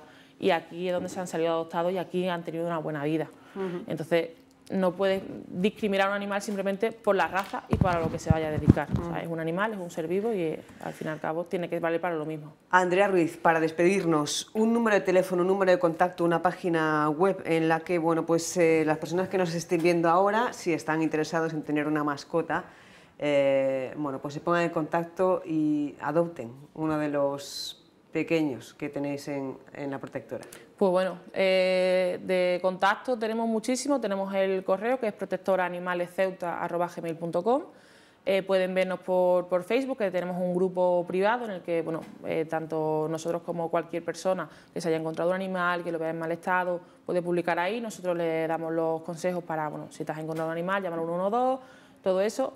Eh, tenemos Facebook, pues, tenemos Instagram, el teléfono, tenemos varios teléfonos, pero te voy a decir el mío, que es el que me sé, porque el de mi compañera no me lo sé. El mío es el 683 56 32 15. Yo normalmente me suelo encargar más de tema de gato, pero bueno, si me contacta para un perro, yo le derivo después a mi compañera y, listo. Y luego tenemos una página web que está en construcción, que próximamente ya cuando la tengamos lista la, anunciaremos. Mm, bueno, pues estamos a la expectativa de esa página web 683 5632 eh, 1.5, ni yo mismo me entiendo mi letra, y eh, también pendientes de eh, que se solucione esa barrera, esa problemática nueva que acaba de surgir que no, os permite eh, bueno, pues enviar animales, mascotas, perros ya adoptados a sus nuevas familias en Francia. Andrea Ruiz, muchísimas gracias por conectar con, con, la pública y muchísimo ánimo. Enhorabuena por la labor que lleváis a cabo. Gracias. Muchísimas gracias a ti. Son las 10 eh, de la mañana, 59 minutos, casi 11. En este punto nos vamos hasta el polígono fase 2 a comprobar cómo van los trabajos de adecentamiento de fachadas. Alicia Urbano, muy buenas de nuevo. Nos encontramos ahora en el polígono Virgen de África, en la barriada, precisamente en la segunda fase, donde las brigadas verdes están dándole un lavadito de cara, están remodelando un poquito la zona, han hecho ya varias cosas, pero nos va a contar exactamente en detalle los trabajos que se están llevando a cabo el presidente de la brigada de la Federación Provincial de Asociaciones de Vecinos, Francisco García Segado. Buenos días, Francisco. Buenos días. ¿Qué se está haciendo en esa barriada precisamente? Bueno, pues aparte de lo que es la poda, eh, se está haciendo bueno, una reforma, digamos que un lavado de cara de lo que es la media fachada hacia abajo con el zócalo y llevamos pues aproximadamente un mes y medio aquí, a la cual ya hemos no hemos cargado casi todo lo que es la zona del 42, 45, 28, 27, todo, toda la parte esta nos queda esta, esta parte que es el del 32 para adelante y una vez que terminemos aquí pasaremos a la primera fase que es donde nos han solicitado también eh, que le demos una pequeña reforma. Si es verdad que el trabajo que están haciendo es bastante sacrificado en el sentido porque bueno, se están comiendo casi todo el veranillo de San Miguel, el verano que, que hemos tenido, las calores y la verdad que es de agradecer el trabajo que están haciendo diariamente trabajos así con el calor son mucho peor. Entonces, eh, pintarse se va a pintar la fachada de toda la barriada, ¿no? Pues eh, estáis terminando la fase 2 y de aquí nos iremos a la fase 1. Pero también habéis hecho una poda, ¿no? Una pequeña poda en las jardineras. Todo lo que es la, jardinera o, los entrantes, digamos, a los portones en el cual estaba todo de, de seto hasta arriba, pues ellos mismos incluso han ido con las tijeras, han ido podando, han ido cortando para poder pintar y cambiar color de albero al, al beige que, estamos pintando. Eh, eh, nos hemos encontrado situaciones en las cuales ha tenido que venir la poda y, parte de ellas pues ellos mismos lo, lo, han realizado, sí que han hecho doble, doble trabajo y para fomentar esa vida que se tiene en los barrios, ¿no? Se han instalado también unos bancos, ¿no? Para que los vecinos no tengan que salir con sus sillas como muchas veces se hace. La verdad que sí, que frente de la hamburguesería eh, hemos, se ha, colocado un total de ocho bancos y todavía estamos a la espera de que eh, pongamos algunas que otras papeleras y bueno, y retocar las necesidades verdaderamente que le hace falta a la barriada. Lo bueno que tiene esta barriada que es que tiene un presidente, la verdad, que, que que es un, es un tiarrón porque es que está todo santo día pendiente de todo. Y bueno, y eso es lo que le pedimos a fiar cabo a, todos los presidentes. Hay que reivindicar, eso está más claro que el agua, y es de la única manera que, que las cosas se llegan a hacer al final estas mejoras redundan en el bienestar de los vecinos, ¿no? ¿Qué impresiones os hacen llegar? ¿Están contentos con, los trabajos que se están haciendo? Bueno, eh, nos hemos llegado hasta el punto de que ha habido vecinos que nos querían que se le tocara las fachadas y a la semana de ver el trabajo que se estaba realizando, pues con mediación del presidente y de, y de la persona y de los pintores, pues bueno, pues han llegado a un acuerdo, ¿no? Mire usted, que queremos pintarlo, que, que, que está quedando muy bonito y hemos tenido que volver retrasar el trabajo y, volver a pintarlo. ¿Para qué? Para que no se quedara atrás. Si es verdad que ahora nos queda una parte muy, muy complicada en el sentido de que hay muchísimos grafitis, muchísimos esto. Hay personas que todavía siguen queriendo el color arbero, pero la verdad que es que el color arbero, como te he dicho antes, parece que estamos en una plaza de toro, ¿no? Entonces queremos, la, eh, la consejería quiere un cambio y un cambio en todos los sentidos. Esta es una de las barriadas en las que se, está actuando. Eh, supongo que luego tendréis otras más por las que vayáis a pasar, ¿no? Sí, la verdad es que bueno, llevamos un verano de loco. Llevamos un verano que desde que empezó el San Juan, desde que eh, toda la playa, hemos estado limpiando playas, hemos estado eh, con la poda en varias barriadas. Ahora estamos quitando todo lo que hemos quitado toda la, calle Independencia. Ahora mismo estamos eh, en lo que es la principal del Rebellín y bueno, estamos totalmente a tope.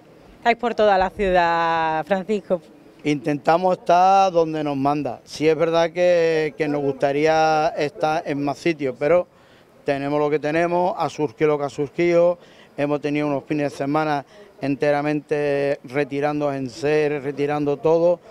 Y bueno, yo puedo decir desde que, por desgracia, desde que empezó la pandemia aquella maldita, pues incluso cuando la invasión que hubo, la Brigada Verde ha estado al pie del cañón. Mm, eh, a día de hoy, bueno, eh, estamos, pero bueno, no somos reconocidos. Seguro que sí, seguro que los vecinos reconocen ese trabajo que se está haciendo aquí en el polígono, Susana. Esto es lo que se mueve por aquí, estamos viendo cómo está quedando y bueno, poquito a poco pues se va actuando en, todas y cada una de las barriadas. Gracias, Alicia, por esta nueva conexión desde el polígono, la segunda fase de esta, de esta barriada. Son las 11 y 5 y abrimos ya nuestro tiempo, nuestro eh, eh, nuestra sección de análisis. Saludamos ya a nuestros cuatro tertulianos de hoy. Enrique Ávila, muy buenas. Hola, buenos días. Saludamos eh, también a Ramón Rodríguez. Buenos días, Susana.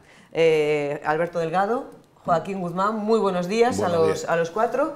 Eh, bienvenidos de nuevo a la tertulia en esta nueva temporada, temporada en la que hemos duplicado eh, los esfuerzos, hemos duplicado los recursos, como ven, son cuatro las personas que van a analizar, a dar su lectura, a dar su opinión sobre la actualidad, eh, que en este caso hoy pasa por la política nacional, una vez que ya el presidente del Gobierno en funciones, Pedro Sánchez, tiene oficialmente bueno, pues encargado las negociaciones para eh, eh, intentar la investidura. ¿Cómo veis? Ha, comenzado ya su, propias, eh, sus propias rondas de negociaciones con Yolanda Díaz de Sumar. ¿Cómo veis esta, situación, Enrique? ¿Crees que se va a llevar a llegar a, a la investidura o volveremos a las urnas? Bueno, creer, vamos a ver, objetivamente debemos pensar que va a salir un gobierno. ¿Por qué? Pues porque las negociaciones parece que están prácticamente cerradas. Entonces, eh, ya no es una cuestión de creer o no, sino de que hay datos suficientes para considerar que la negociación está cerrada.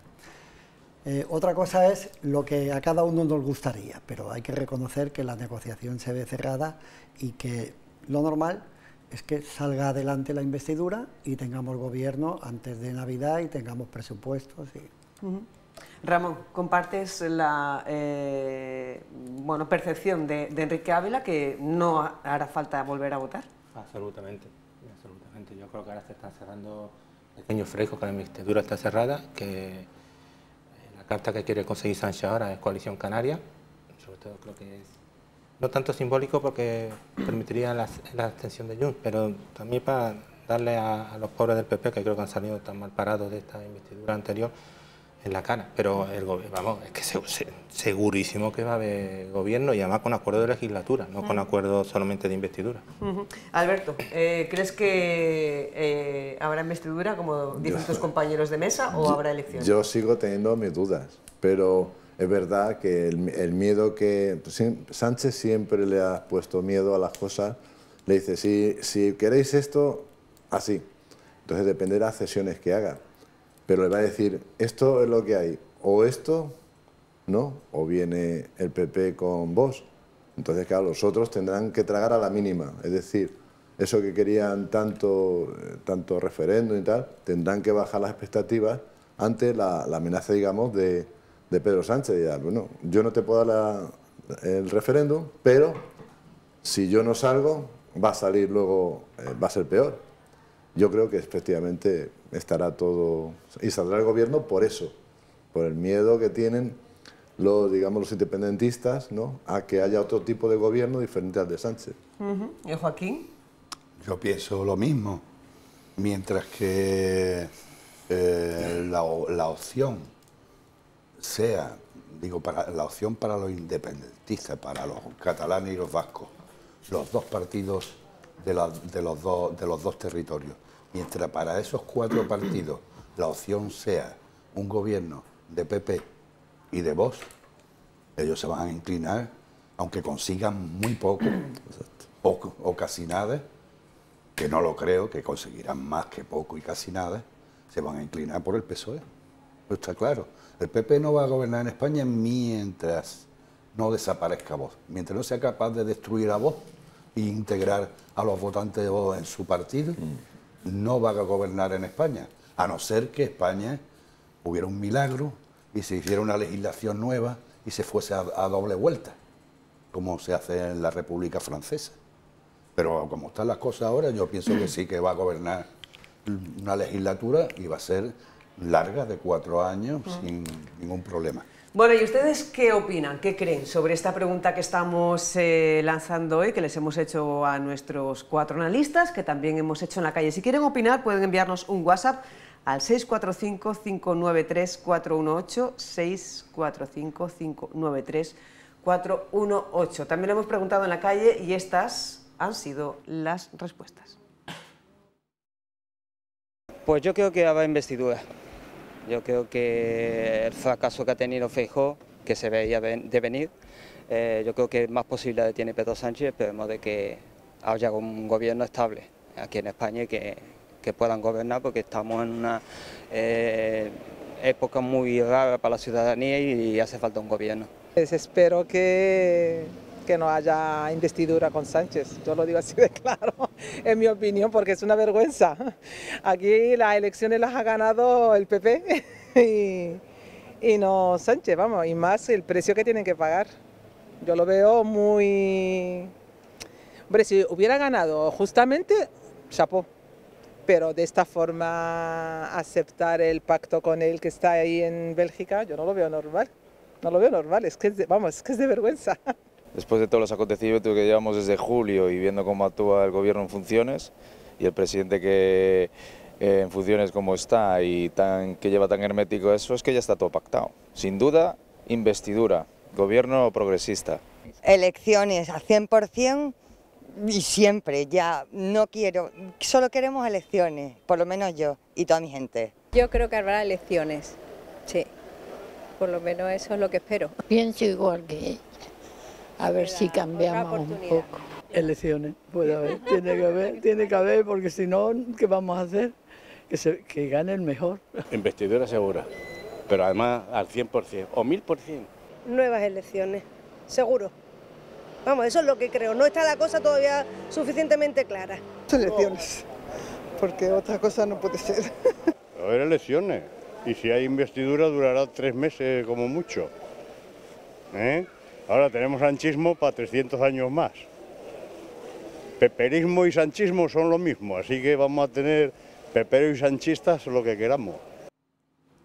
Bueno, pues esas son las eh, conclusiones, los testimonios que nos dejaban las personas que nos hemos encontrado en la calle. Insisto, pueden opinar ustedes en el 645-593-418. Estamos eh, bueno, en el periodo de tertulia, hablando sobre esas eh, posibilidades que se abren ahora, una vez fallida la investidura de Alberto Núñez Fijó y hecho oficial el encargo de la investidura a Pedro Sánchez, si bueno, pues va a conseguir esa investidura o se va a volver a las urnas. Un eh, presidente del Gobierno en funciones y líder del PSOE que aspira a ser investido de nuevo jefe del Ejecutivo cuanto antes, decía este martes, tras recibir el encargo del rey, pero no ha sugerido fecha todavía a la espera de continuar las negociaciones con los grupos parlamentarios que ha calificado de complejas. Vamos a verlo. Hombre, a mí me gustaría que fuera cuanto antes, eh, decirle la verdad, ¿no? Pero pero bueno, creo que vamos a trabajar intensamente. Confío, las negociaciones no van a ser fáciles, van a ser complejas, eso es así. Eh, pero por eso hablo de, que es el momento de la política, que es el momento de la generosidad, que es el momento del compromiso y también del liderazgo que tengamos que ejercer cada uno en nuestros ámbitos de responsabilidad política. En fin, eh, hemos tenido cinco semanas de investidura fallida del señor Feijó. Eh, nosotros empezamos hoy y, por tanto, no puedo garantizar aún la fecha, pero sí que les puedo garantizar a los españoles y españolas que, que vamos a trabajar en serio, que lo que han visto en fin, nada tiene que ver con lo que nosotros vamos a hacer, que es realmente trabajar en serio para que haya una investidura real y que, por tanto, tengamos un gobierno que dé estabilidad y responda a los eh, desafíos que tenemos por delante, que son muchos. ¿no?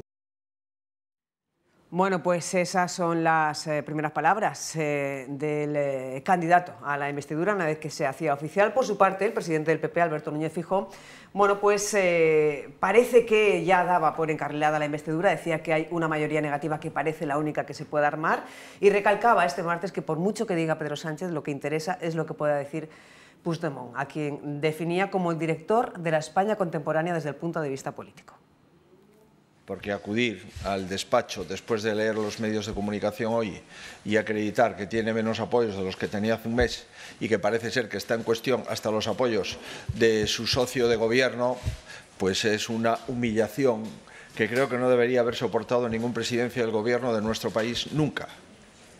Eso de que no te apoyen ni tus socios de gobierno o que te apoyen condicionado a no sé qué, acredita que en España no hay gobierno.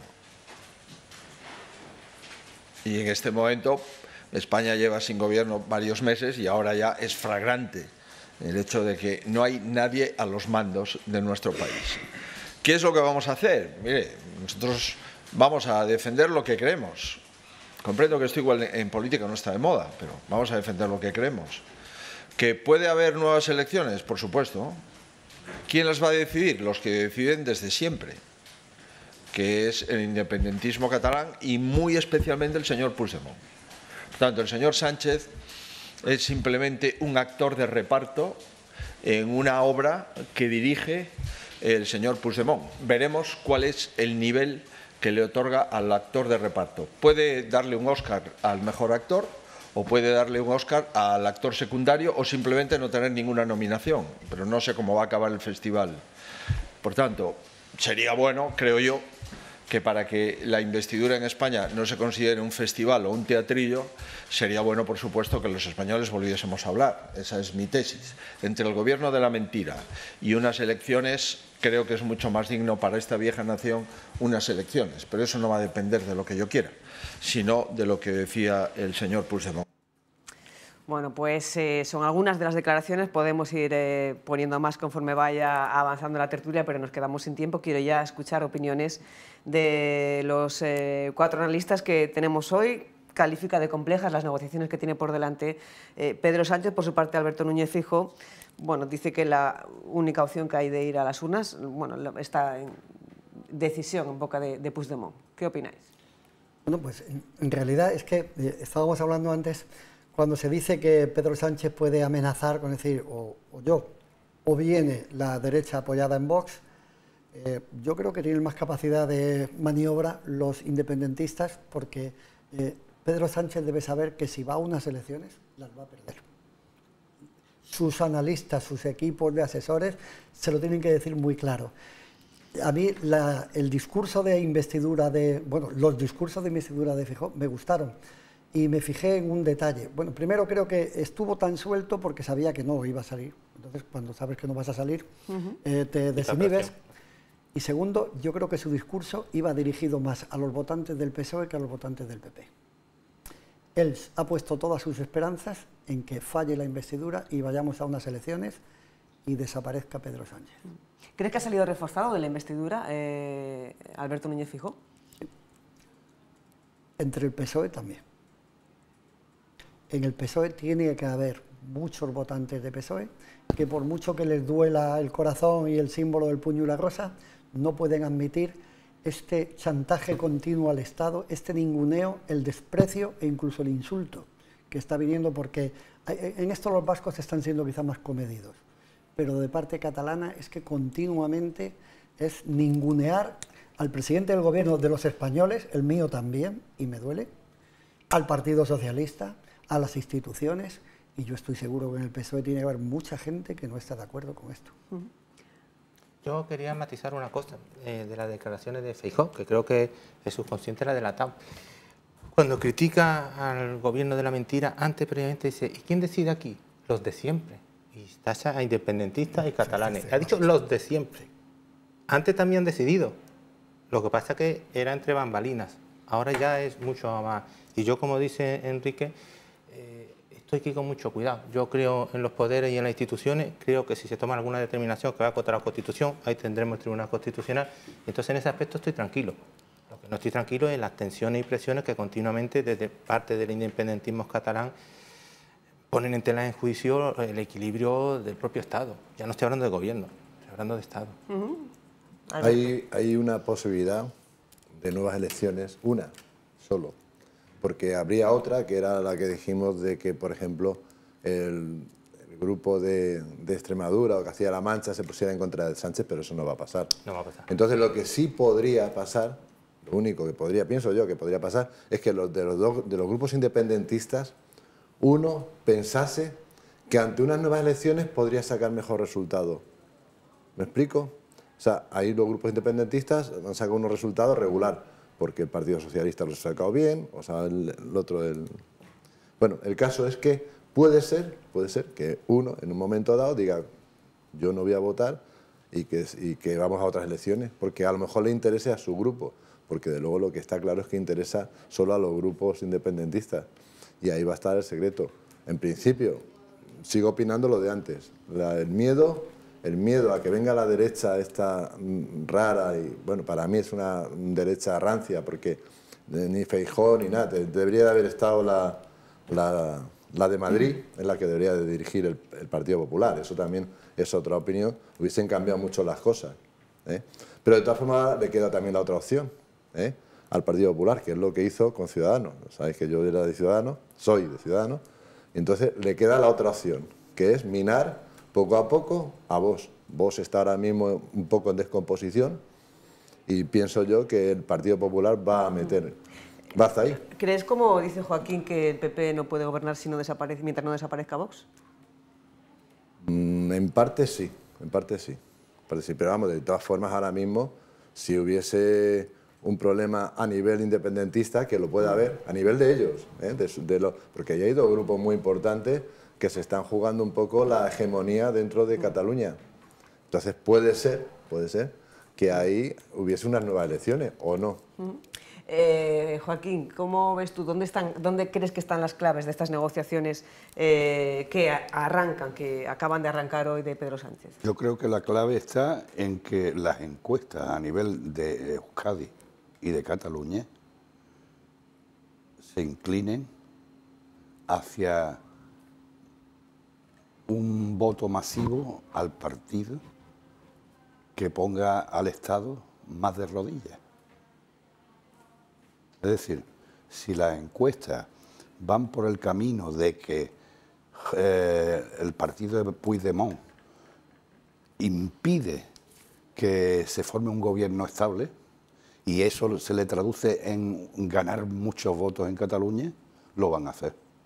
Si por el contrario el impedir que, que, que, que, el PSOE y su coalición gobierne no le va a dar votos a ese partido a nivel de, de, de Cataluña. Y hablo de Cataluña y hablo también de Euskadi, porque en Euskadi es lo mismo. Si analizamos, hay, una derecha representada por PNV en Euskadi y por y por eh, Puigdemont en Cataluña ah, bueno. y una izquierda representada por eh, los herederos de Ribatasuna en el País Vasco y Esquerra Republicana en, en, Cataluña. Si las encuestas dan que suben mucho si impiden el gobierno a cualquiera de esos cuatro, entonces no va a haber acuerdo, uno no va a dar los votos. Pero si lo, si lo que se traduce en que no haya gobierno de Sánchez es que eh, pierden votos algunos de los cuatro, o los cuatro, pues entonces sí va a haber gobierno. No sé si me he explicado bien, pero yo creo que lo veo en clave de eso. Lo mismo que nosotros tenemos encuestas, encuestas nacionales, ellos tienen encuestas de su región. Entonces, si a Esquerra Republicana le dicen la encuesta que si impide el gobierno de Sánchez va a ganarle a Puigdemont, pues digo Puigdemont, no digo sus siglas, porque es que es Puigdemont. No, ahí no hay partido ni hay nada, y hay el que se fue en el maletero del coche, es lo que hay. Y en el País Vasco, pues lo mismo. Eh, si las encuestas dicen que impedir el gobierno de Sánchez le va a dar muchos votos al PNV, pues entonces no, no lo investigan. A ver, ¿qué comentan eh, tus compañeros de mesa sobre esa reflexión que acabas de hacer en cuanto a las claves? Pero antes nos vamos a la iglesia de Nuestra Señora de África y está Ana Villazán siguiendo el primero de los actos centrales que celebra hoy la Policía Nacional con motivo de los eh, patronos de los ángeles custodios, que bueno, pues realmente era el lunes, pero hoy se celebra institucionalmente aquí en la ciudad. Muy buenos días, Ana. Buenos días. Y son los primeros con Francisco López al frente del Cuerpo Nacional de Policía aquí en Ceuta. Efectivamente, se celebran los patronos de la Policía Nacional con una Eucaristía que ha comenzado pues hace algo menos de, media hora, a las 11 en punto, aquí en el templo que está a nuestra espalda, en la iglesia de Santa María de África, y que continuará cuando finalice la Eucaristía con un acto institucional en las murallas reales que ensayaban a primera hora de la mañana los agentes del cuerpo. Asisten las principales autoridades de la ciudad el presidente Juan Vivas y el delegado del Gobierno, Rafael García, es una muestra del respaldo de las instituciones y de la propia ciudadanía al Cuerpo Nacional de Policía. En Ceuta, uno de cada cuatro ciudadanos dice sentir inseguridad en distintos grados, pero eso no es óbice para que la nota final del ciudadano a, este, a esta fuerza de seguridad, al Cuerpo Nacional de Policía, sea un aprobado. No lo decimos nosotros, viene reflejado, por ejemplo, en el documento, en el Plan Estratégico para el Desarrollo Socioeconómico de Ceuta un documento que recoge también cuáles eh, pueden ser las maneras de mejorar esa seguridad en lo que concierne al Cuerpo Nacional de Policía. Serían la mejora de las instalaciones y también el incremento de la plantilla. Sobre este último asunto, ese motivo de celebración, pues el estar inmersos en una convocatoria para la incorporación de más de 2.600 agentes en el cuerpo para todo el país. Quizás estos sean algunos de los temas sobre los que pueda hablar el jefe superior en el discurso institucional que ofrecerá en ese acto al que hacíamos mención en las murallas reales, un acto en el que además se va a reconocer el trabajo de hasta 19 agentes del cuerpo con la entrega de la medalla con distintivo blanco y en el que también se va a reconocer y a premiar la colaboración de distintas instituciones y entidades con su ingreso en la orden al mérito policial, caso, por citar algunos ejemplos, de la autoridad portuaria, del comandante naval de distintos departamentos de la ciudad autónoma, como puede pueden ser el área de menores, eh, también el área de medio ambiente o la empresa pública Angevicesa. Decimos o insistimos en que son solo algunos de, los, de las entidades colaboradoras que, recibirán esa, esa condecoración, ese reconocimiento. El único discurso previsto es el del jefe superior del cuerpo, el de Francisco López, y hemos sabido, si tenemos la certeza, tenemos la confirmación de que entre todas las palabras que pronuncia habrá algunas eh, dirigidas en memoria de José Miguel Antúnez, el atleta sindicalista y agente de la policía local cuya pérdida repentina ha dejado a Ceuta sumida en la conmoción. Susana. Desde luego que sí, Ana. Muchísimas gracias por esta amplia eh, crónica en directo desde las eh, puertas del Santuario Virgen de África. Muchísimas gracias y nosotros continuamos, eh, nos eh, ponía sobre la mesa las que él cree que son las claves en esta negociación, bueno, pues un poco mirando hacia el, papel el voto de los partidos independentistas con respecto al, problema de, Cataluña. También tenía unas palabras el presidente del Gobierno en funciones, Pedro Sánchez, que afirmaba que es la hora de la generosidad, el compromiso, el liderazgo y la política para resolver este problema político y para sacar adelante la investidura y ha asegurado que cuando finalice la ronda de contactos con los grupos parlamentarios fijará posición sobre sus exigencias. Yo voy a iniciar eh, la ronda de contactos con los grupos parlamentarios. Lo haré en la semana en la semana presente y, lógicamente, la próxima semana. Y, posteriormente, cuando hable con todos los grupos parlamentarios y escuche su parecer, evidentemente esta es una de las propuestas que están haciendo no pocos grupos parlamentarios, pues eh, fijaré posición. Pero sí quisiera hacer una reflexión importante. Si el pasado 23 de julio dijeron algo los españoles, es que no se puede presidir el gobierno de la nación sin entender la pluralidad política del Parlamento ni la diversidad territorial de la nación. Esto es así. Por tanto, es la hora de la política, que es la que no ha hecho el Partido Popular. Es la hora del compromiso con el país, es la hora de la generosidad para que podamos encontrar entre todos una forma de articular una mayoría parlamentaria que nos permita un gobierno no para una investidura, sino para una legislatura. Quiero en esto ser claro. Y finalmente, es la hora del liderazgo. Bueno, Enrique, eh, no pronuncia la palabra amnistía, habla de generosidad, sí que eh, rechaza, bueno, pues literalmente el derecho a autodeterminación. ¿Qué te parecen estas, eh, estas palabras? Y también no sé si estás de acuerdo con las claves que ponías sobre la mesa, Joaquín. lo, lo, que ha dicho, voy a empezar por Joaquín, lo que ha dicho Joaquín es evidente y hay que reconocer que es así. aunque hablamos del Congreso, que es la reunión de los parlamentarios, de los diputados, deberíamos pensar que de España, porque eh, la manipulación que hacen los partidos políticos de la representación es que eh, decimos, es el diputado del PSOE o el diputado del PP. Es mentira.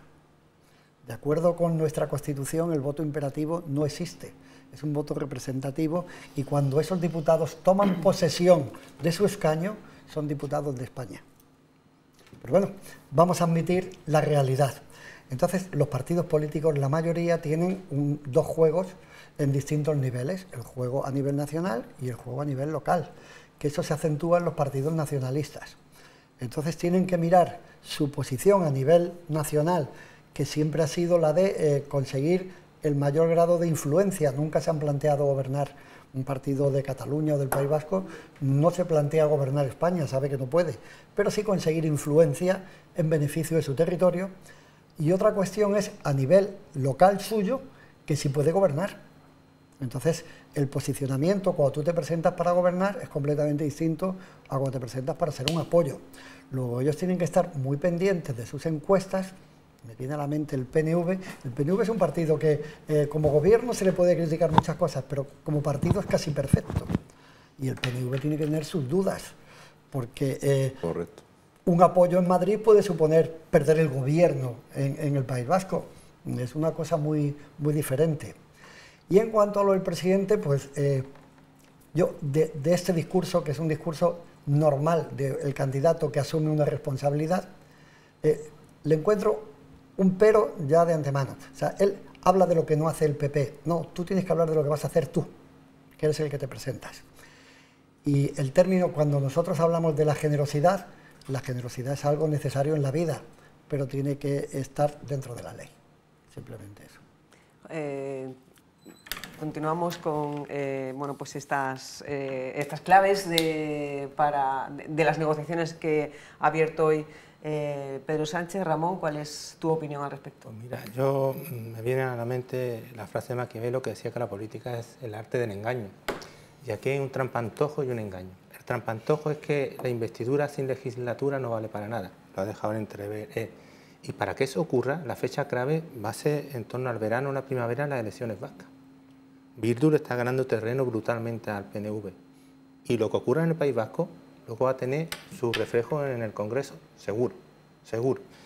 Eso enlazo con lo que ha dicho Joaquín, que estoy de acuerdo. Y la mentira, la gran mentira, es que este no va a ser un gobierno progresista, ni mucho menos. Este va a ser un gobierno en que fuerzas como el PNV, que es derecha, muy derecha, Junts, que es derecha, muy derecha, independentista, y una serie de partidos que están en su mano, que dicen somos progresistas, junto a Carsoe que dice serlo, pero no lo son, esto no es un gobierno progresista. Progresista está EH Birdu, que va en ascenso, y Podemos, que estamos en una situación crítica. Y eso también se va a ver cuando empiece la legislatura. Se va a ver ese equilibrio de fuerza, ya ve qué pasa. Alberto. Yo sigo opinando, efectivamente. Bueno, yo había dicho casi lo mismo prácticamente que ha dicho él, en cuanto a que también hay que ver cómo están las fuerzas dentro de los dos grupos, tanto independentistas de, de, Cataluña como los del País Vasco. Porque efectivamente, yo antes no he dicho, he dicho nada más que los dos, porque también Puigdemont está muy cómodo allí donde está. ¿Eh? Está allí muy cómodo y lo mismo dice, bueno, yo o esto, o, o digo que no, y además subo en votación. Y luego, efectivamente, no he dicho los vascos, que estoy de acuerdo con ellos, en que los vascos, ahora mismo un partido, el Partido Nacionalista Vasco es un partido muy inteligente, siempre ha negociado muy inteligentemente y Bildu le está comiendo ahora mismo el terreno y eso es peligroso. A mí, eh, no sé, de momento ya han, han, consentido que no, que no gobierne el Partido Popular y bueno, pues vamos a ver, vamos a ver qué sale que sale de los partidos de cada, de cada grupo independentista del País Vasco y del País Catalán. Ahí hay, ahí hay fuerzas ¿eh?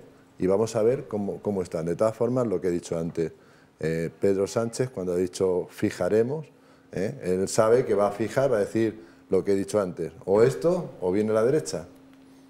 Y no hay más. Y luego la derecha, por supuesto, el partido, el PP, debe empezar con vos, empezar a hacer lo que hizo con Ciudadanos. Sí, pero- poquito a poco. Pero la cuerda también se puede tesar por la otra parte, por el otro lado, como dice, como dice Enrique. Sí, sí, por eso es la, la única posibilidad que hay de elecciones. O sea, de que no salga Pedro Sánchez. Pero yo creo que sí, yo creo que yo estoy convencido de que les va a asustar. Les va a asustar entre comillas, le va a decir o esto o lo otro. Y entonces ante eso tendrán que ceder en la amnistía, tendrán que hacer, y sobre todo en el referéndum. La amnistía, no sé, yo la veo que la, que la va a dar, que eso está pactado ya y que sí, pero el referéndum no, el referéndum es, es- además es- es absurdo. Él, él lo ha dicho literalmente que no, el, al referéndum no. Exacto, eso, eso es absurdo. No lo va a conseguir y se lo va a decir y eso lo va a poner. Va a decir la amnistía y la tenéis, pero nada más. Y la amnistía sí la va a dar. Y luego eh, he visto ahí que han dicho no sé qué de Ceuta, de que es insegura y tal. Quisiera- Ah, por cierto, tengo que felicitar a, a Alberto, porque Alberto es Policía Nacional y hoy con motivo de, de- Exacto, de la jubilado. Celebración, jubilado, pero Policía Nacional, con motivo de la celebración de los eh, patronos de los ángeles custodios, pues, eh, bueno, pues felicidades Muchas gracias. a, a ti y a toda la, la familia de la Policía Nacional, sobre todo los que están aquí en Ceuta, que no estabas de acuerdo con la sensación de inseguridad. No, no, además me parece, no sé, mm, siempre recordaré a mi sobrino, bueno, está- vive, pero ahora está fuera de aquí, que dijo, dice, joder, tío, voy andando por aquí por Ceuta y me siento raro de que pueda ir tan tranquilo. O sea, yo creo que Ceuta es una ciudad de más seguras que hay ahora mismo, ¿eh? Por muchas circunstancias también, porque hay muchos policías, mucho, hay un- es, el índice es muy grande de policías, de guardias civiles, de militares que hay por la calle, y por la calle incluso de paisanos, lo sabe la gente, y ciudad es una ciudad además, es pequeña, todos nos conocemos, es una de las cosas agradables, buenas y bonitas que tiene Ceuta, aparte de muchas, que nos conocemos todos y sabemos dónde estamos. Yo creo que es segura, Ceuta es una ciudad segura, y no sé, yo estuve tomando el otro día un café a la una de la mañana ahí en el puerto, en el- pues, no sé, y todo el mundo va allí, todo- creo que no, creo que no estoy de acuerdo en eso y bueno, más que todo además también felicitar a mis compañeros, a todos los que estarán ahora y, y a los que van a recibir las condecoraciones. Ya eh, brevemente, Joaquín, que ya nos tenemos que ir, que nos están pidiendo paso compañeros. Eh, bueno, ¿qué papel crees que va a jugar la amnistía en, la, eh, en el resultado final de este proceso que se acaba de iniciar hoy? Yo parto de lo que te he dicho antes. Yo parto que para los países, los, los- los partidos in- catalanes y vascos, cuanto peor le vaya a España es mejor para ellos. Para ellos es mejor. Claro, ellos, eh, los que aspiran a ser independientes, pues cuanto más débil esté un país, para ellos es mejor. Eh, Eso me dice a mí mi lógica, que no digo que sea la lógica de todo el mundo. Entonces yo pienso que ellos mm, van a, mm, lo de la amnistía, mm, ya más o menos les da igual. La amnistía ya, eh, ya han estado, ya están casi todos amnistiados, lo único que falta es Puigdemont, que lo mismo que se fue en el maletero de un coche puede volver igual en el maletero de otro coche y presentarse un día como hizo Santiago Carrillo en la transición, en plena calle y nadie lo va a detener. Eso mm, no lo meto yo en la ecuación. La ecuación está, eh, la el que yo meto es eso. Mm, si Esquerra Republicana ve que eh, rompiendo, el eh, es decir, impidiendo que Sánchez gobierne y que por lo tanto haya ningún momento amnistía ni nada, lo va a hacer. Y lo mismo lo va a hacer Jun y lo mismo lo va a hacer eh, Bildu y lo mismo lo va a hacer el PNV. El más sensato, el partido que a mí más confianza me da de todo es el PNV. Pero el PNV, no olvidemos que eh, tuvo un, un presidente que decía cuando los asesinatos de ETA, que ETA lo que hacía era mover el árbol y ellos recogían las nueces. Por lo tanto, yo creo que están todos en las en las mismas circunstancias. Y aprovechando, termino muy rápido, que yo también quiero felicitar a las fuerzas de seguridad y en este caso a, Policía. a la Policía Nacional y quiero eh, insistir en mi idea de que esa Policía Nacional es la Policía Nacional de todos, porque de alguna forma se lo quiere apropiar la derecha. La derecha quiere ser la defensora de la policía. No, ya llevamos 40 años de democracia. La policía cumple con las leyes y defiende a todos los ciudadanos. No pregunta, a mí no me han preguntado, cuando me han tenido que ayudar, no me han preguntado nunca de qué partido político era. La Policía Nacional cumple su misión. La pagamos todos los españoles y se rigen por la democracia. Y esta es mía como de cualquiera de vos. Eso es lo que yo Desde luego decir. que sí, que la Policía Nacional es la policía de todos. Enrique Ávila, Ramón Rodríguez, eh, Alberto Delgado y Joaquín Guzmán, muchísimas Muchas- gracias. muchas gracias. Un placer, veremos cómo van siguiendo los capítulos, los siguientes episodios. Y bueno, pues conectamos la semana que viene, si os parece bien, con este u otros temas de actualidad. Gracias, un placer, como siempre. 11 y 39 nos vamos al, bueno, con los hermanos eh, de Cruz eh, Blanca que están también de celebración. Celebran San Francisco de Asís y allí está nuestra compañera Alicia Urbano. Muy buenas de nuevo. Susana, estamos ahora en la casa familiar Nuestra Señora de los Ángeles de los hermanos franciscanos de Cruz Blanca y estamos aquí porque hoy celebran la festividad de San Francisco de Asís. Esta tarde tendrá lugar una Santa Eucaristía y después pues tendrán un momento de convivencia familiar.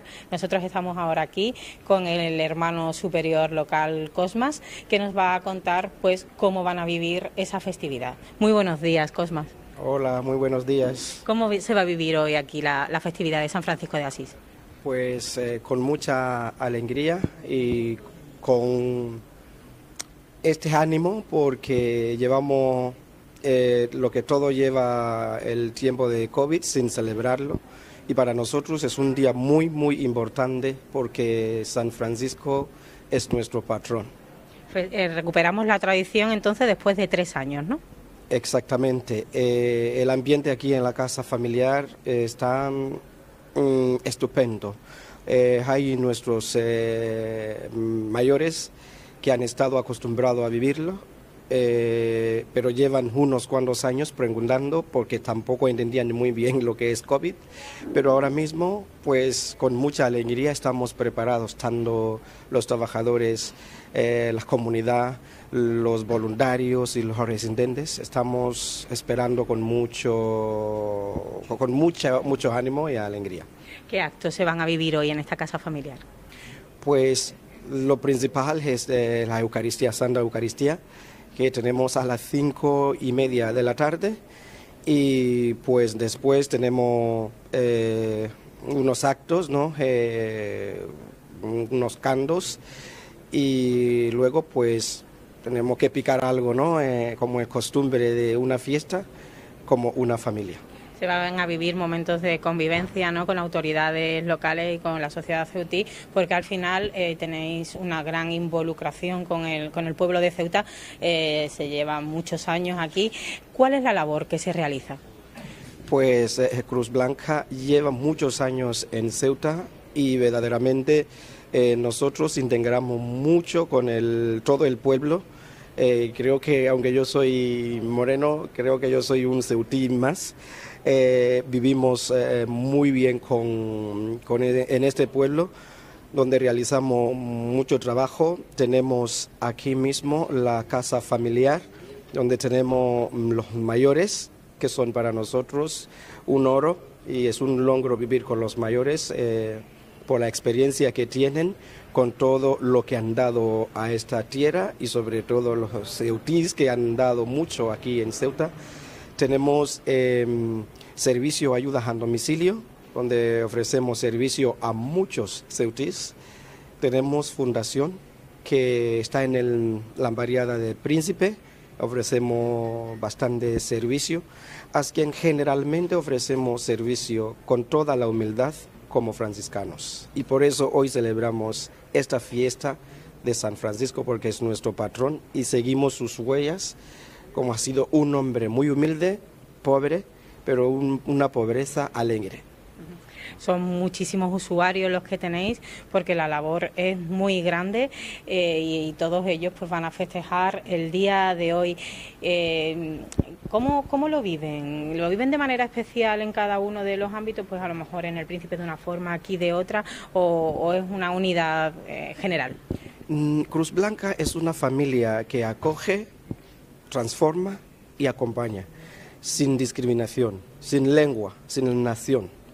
Eh, acogemos a todos y cuando tenemos una fiesta mezclamos todos. Tenemos aquí mm, eh, personas de distintos países, eh, trabajadores de distintas, en distintas religiones y estamos contentos. Hoy mismo vamos a vivir como una familia. No tenemos que en el príncipe que tengan fiesta de otra manera y nosotros aquí de otra manera. Es una familia con toda la humildad y todos iguales uno a otro.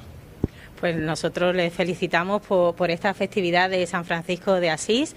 Eh, ya hemos visto, bueno, la verdad es que es de sobra conocida la labor que los hermanos llevan a cabo en la ciudad, pero hoy la queríamos conocer desde dentro, un poquito más en profundidad. Y bueno, este es el ambiente que se vive hoy en la casa familiar del Sardinero y aquí pues nos vamos a quedar con ellos.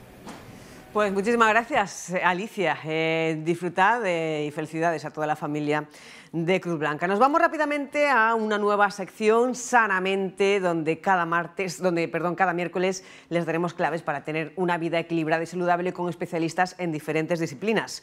Hoy con el nutricionista Tomás Parra. Dentro.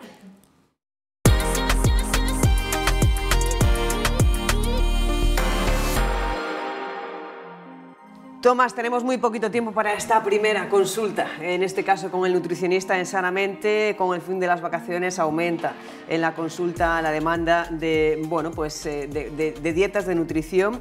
Eh, ¿Sería correcto comenzar con una dieta muy estricta eh, después del verano con los excesos que todos nos damos un poquito? Eh, efectivamente, en verano tenemos más demanda de consultas en nutrición y no sería recomendable empezar con una dieta muy estricta. Todos en verano tenemos vacaciones, tenemos más vida social, los días son más largos, se suele salir más a la calle a cenar o a comer porque las temperaturas son mejores que en, invierno, ¿vale? Y entonces pues tendemos a coger unos pocos de kilos, la mayoría de las personas pero no es conveniente empezar septiembre con una dieta muy restrictiva. Sería mejor, eh, de nuevo, afianzar hábitos saludables, tanto de actividad física como de alimentación saludable, y poco a poco ir perdiendo esos kilillos de más. ¿Y cómo podría ser ese, ese inicio? ¿Cómo sería la recomendación para empezar? ¿Qué tipo de alimentos, qué tipo de productos deberíamos ingerir? Pues básicamente lo correcto sería, pues ya te digo, mantener una alimentación saludable, intentar ir cortando esa vida social tan alta que tenemos en verano, intentar cortar salidas, intentar... Pero alimentos concretos. Alimentos, cualquier alimento que sea saludable y de todo tipo, ¿vale? Mucha gente empieza una dieta restrictiva, quita, por ejemplo, hidratos de carbono porque dicen que los hidratos de carbono engordan mucho, ¿no? Por ejemplo, no, habría que añadir todo tipo de alimentos, hidratos de carbono, legumbres, eh, carnes y pescados, cereales, etcétera, verduras, fruta, obviamente. Eh, ¿Y las grasas?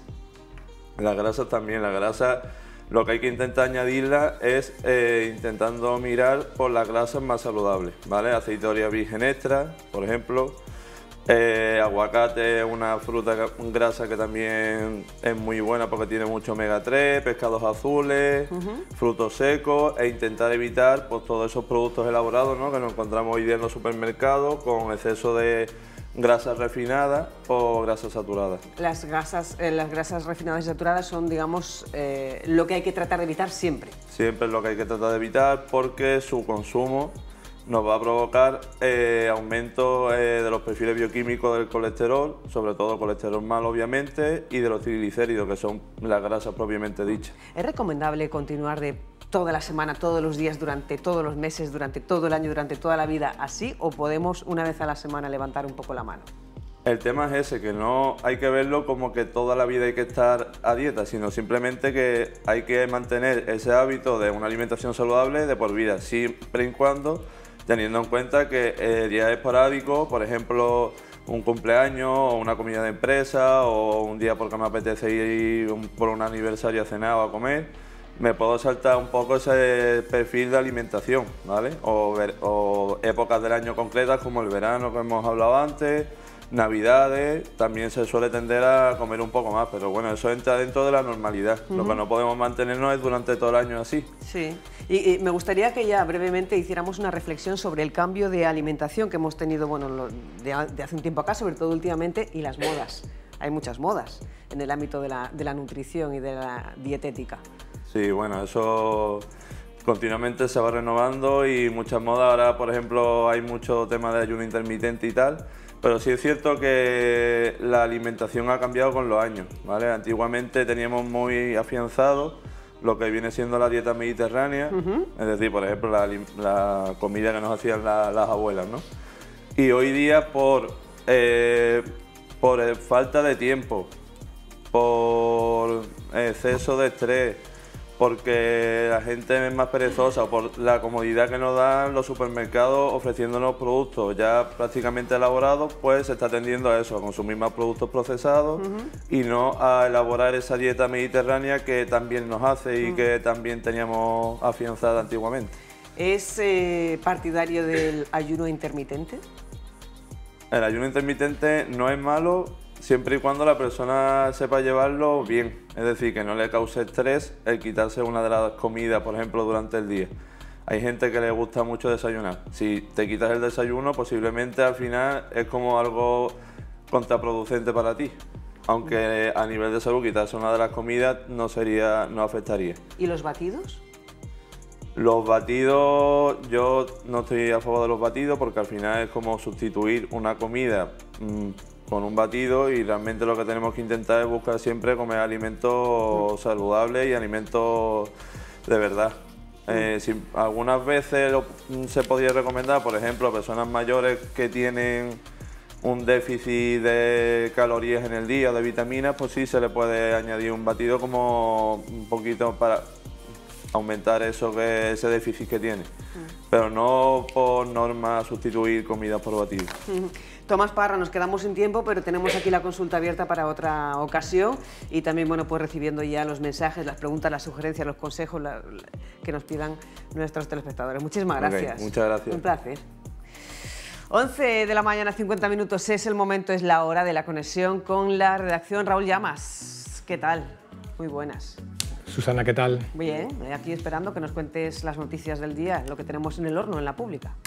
Bueno, pues vamos a contar muy brevemente lo que hay en el horno, como dice nuestra compañera Susana. Vamos a hablar de Guardia Civil y es que varias asociaciones profesionales de la Benemérita han comparecido públicamente hoy a nivel nacional, entre ellas la Asociación Unificada del Cuerpo para denunciar eh, pérdida de competencias. Eh, ponen como ejemplo el puerto de Melilla, que se ha confirmado recientemente que después del de Santander eh, sufren estos agentes del cuerpo una pérdida de competencias en favor de sus compañeros de la Policía Nacional, competencias como la de seguridad ciudadana y policía judicial. Hablan de que eh, tras estos puertos como el de Melilla y Santander pudieran venir más y no se descarta que el de Ceuta próximamente pueda sufrir este trasvase de competencias, como decimos, de la Guardia Civil a la Policía Nacional. Precisamente hoy la Policía Nacional está celebrando los actos de su patrón, como hemos podido ver a lo largo del programa, son los Santos Ángeles eh, Custodios. Ahora a las 12 van a comenzar el acto institucional en las eh, murallas reales y ya previamente a las 11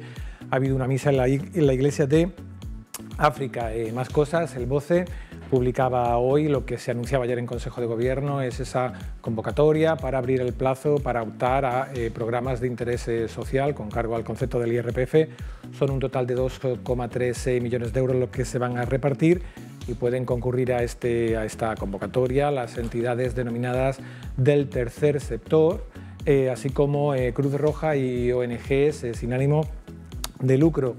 Ya esta tarde, a modo de previsión, Susana, pues eh, ACF va a presentar las actividades con motivo del Día Mundial de la Salud Mental, que como sabemos tendrá lugar el día 10 de octubre, y también el Salón de Actos del Palacio de la Asamblea acogerá esta tarde una conferencia a cargo del general Antonio Ruiz Benítez, el director del Instituto Historia y Cultura Militar, denominada España, una nación con historia, aportación militar este va a ser el general, que después eh, próximamente, también esta tarde a las ocho y media, pero en esta ocasión en el Salón del Trono, va a entregar un premio al presidente de la ciudad, Juan Vivas. Se trata del premio en su cuarta edición, el premio del eh, Centro de Historia y Cultura Militar, que ha recaído este año en la ciudad autónoma. Y por último, eh, información de servicio, recordar que hasta la una de la tarde no se va a restablecer el suministro de agua en varias eh, zonas del extrarradio que tienen cortado el suministro desde las 9 de la mañana. Recordamos que son eh, las comprendidas entre Arroyo del Infierno, carretera de Loma Larga, zona del antiguo camping, carretera de Benítez, carretera del, em-, del Embalse y las urbanizaciones Caribdis y El Pinar. Los motivos eh, son los de trabajo de mantenimiento y conservación de la red de abastecimiento. Susana. Pues eh, muchas gracias, eh, Raúl. Estaremos pendientes de los servicios informativos, tanto a las 2 de la tarde como a las 8 y media, y bueno, seguimos en conexión. Muy bien. Y nosotros nos vamos, nos vamos con esta imagen que nos dan nuestros compañeros en directo desde las murallas reales, donde dentro de exactamente cinco minutos arrancará ese acto central, ese acto institucional en el que, o con el que la Policía Nacional aquí en Ceuta va a celebrar hoy, fue el, día 2, pero hoy se celebran los actos centrales con motivo de los patronos de la Policía Nacional, los eh, Ángeles Custodios, un acto que va a ser presidido por el delegado del Gobierno y en el que se entregarán eh, seis órdenes al mérito policial y habrá también cuatro eh, placas de agradecimiento. Así que con esas imágenes y felicitando a la Policía Nacional nos despedimos y dándoles también las gracias a ustedes por acompañarnos un día más. Mañana nos vemos de nuevo a las 10. Que pasen muy buena tarde. Hasta mañana.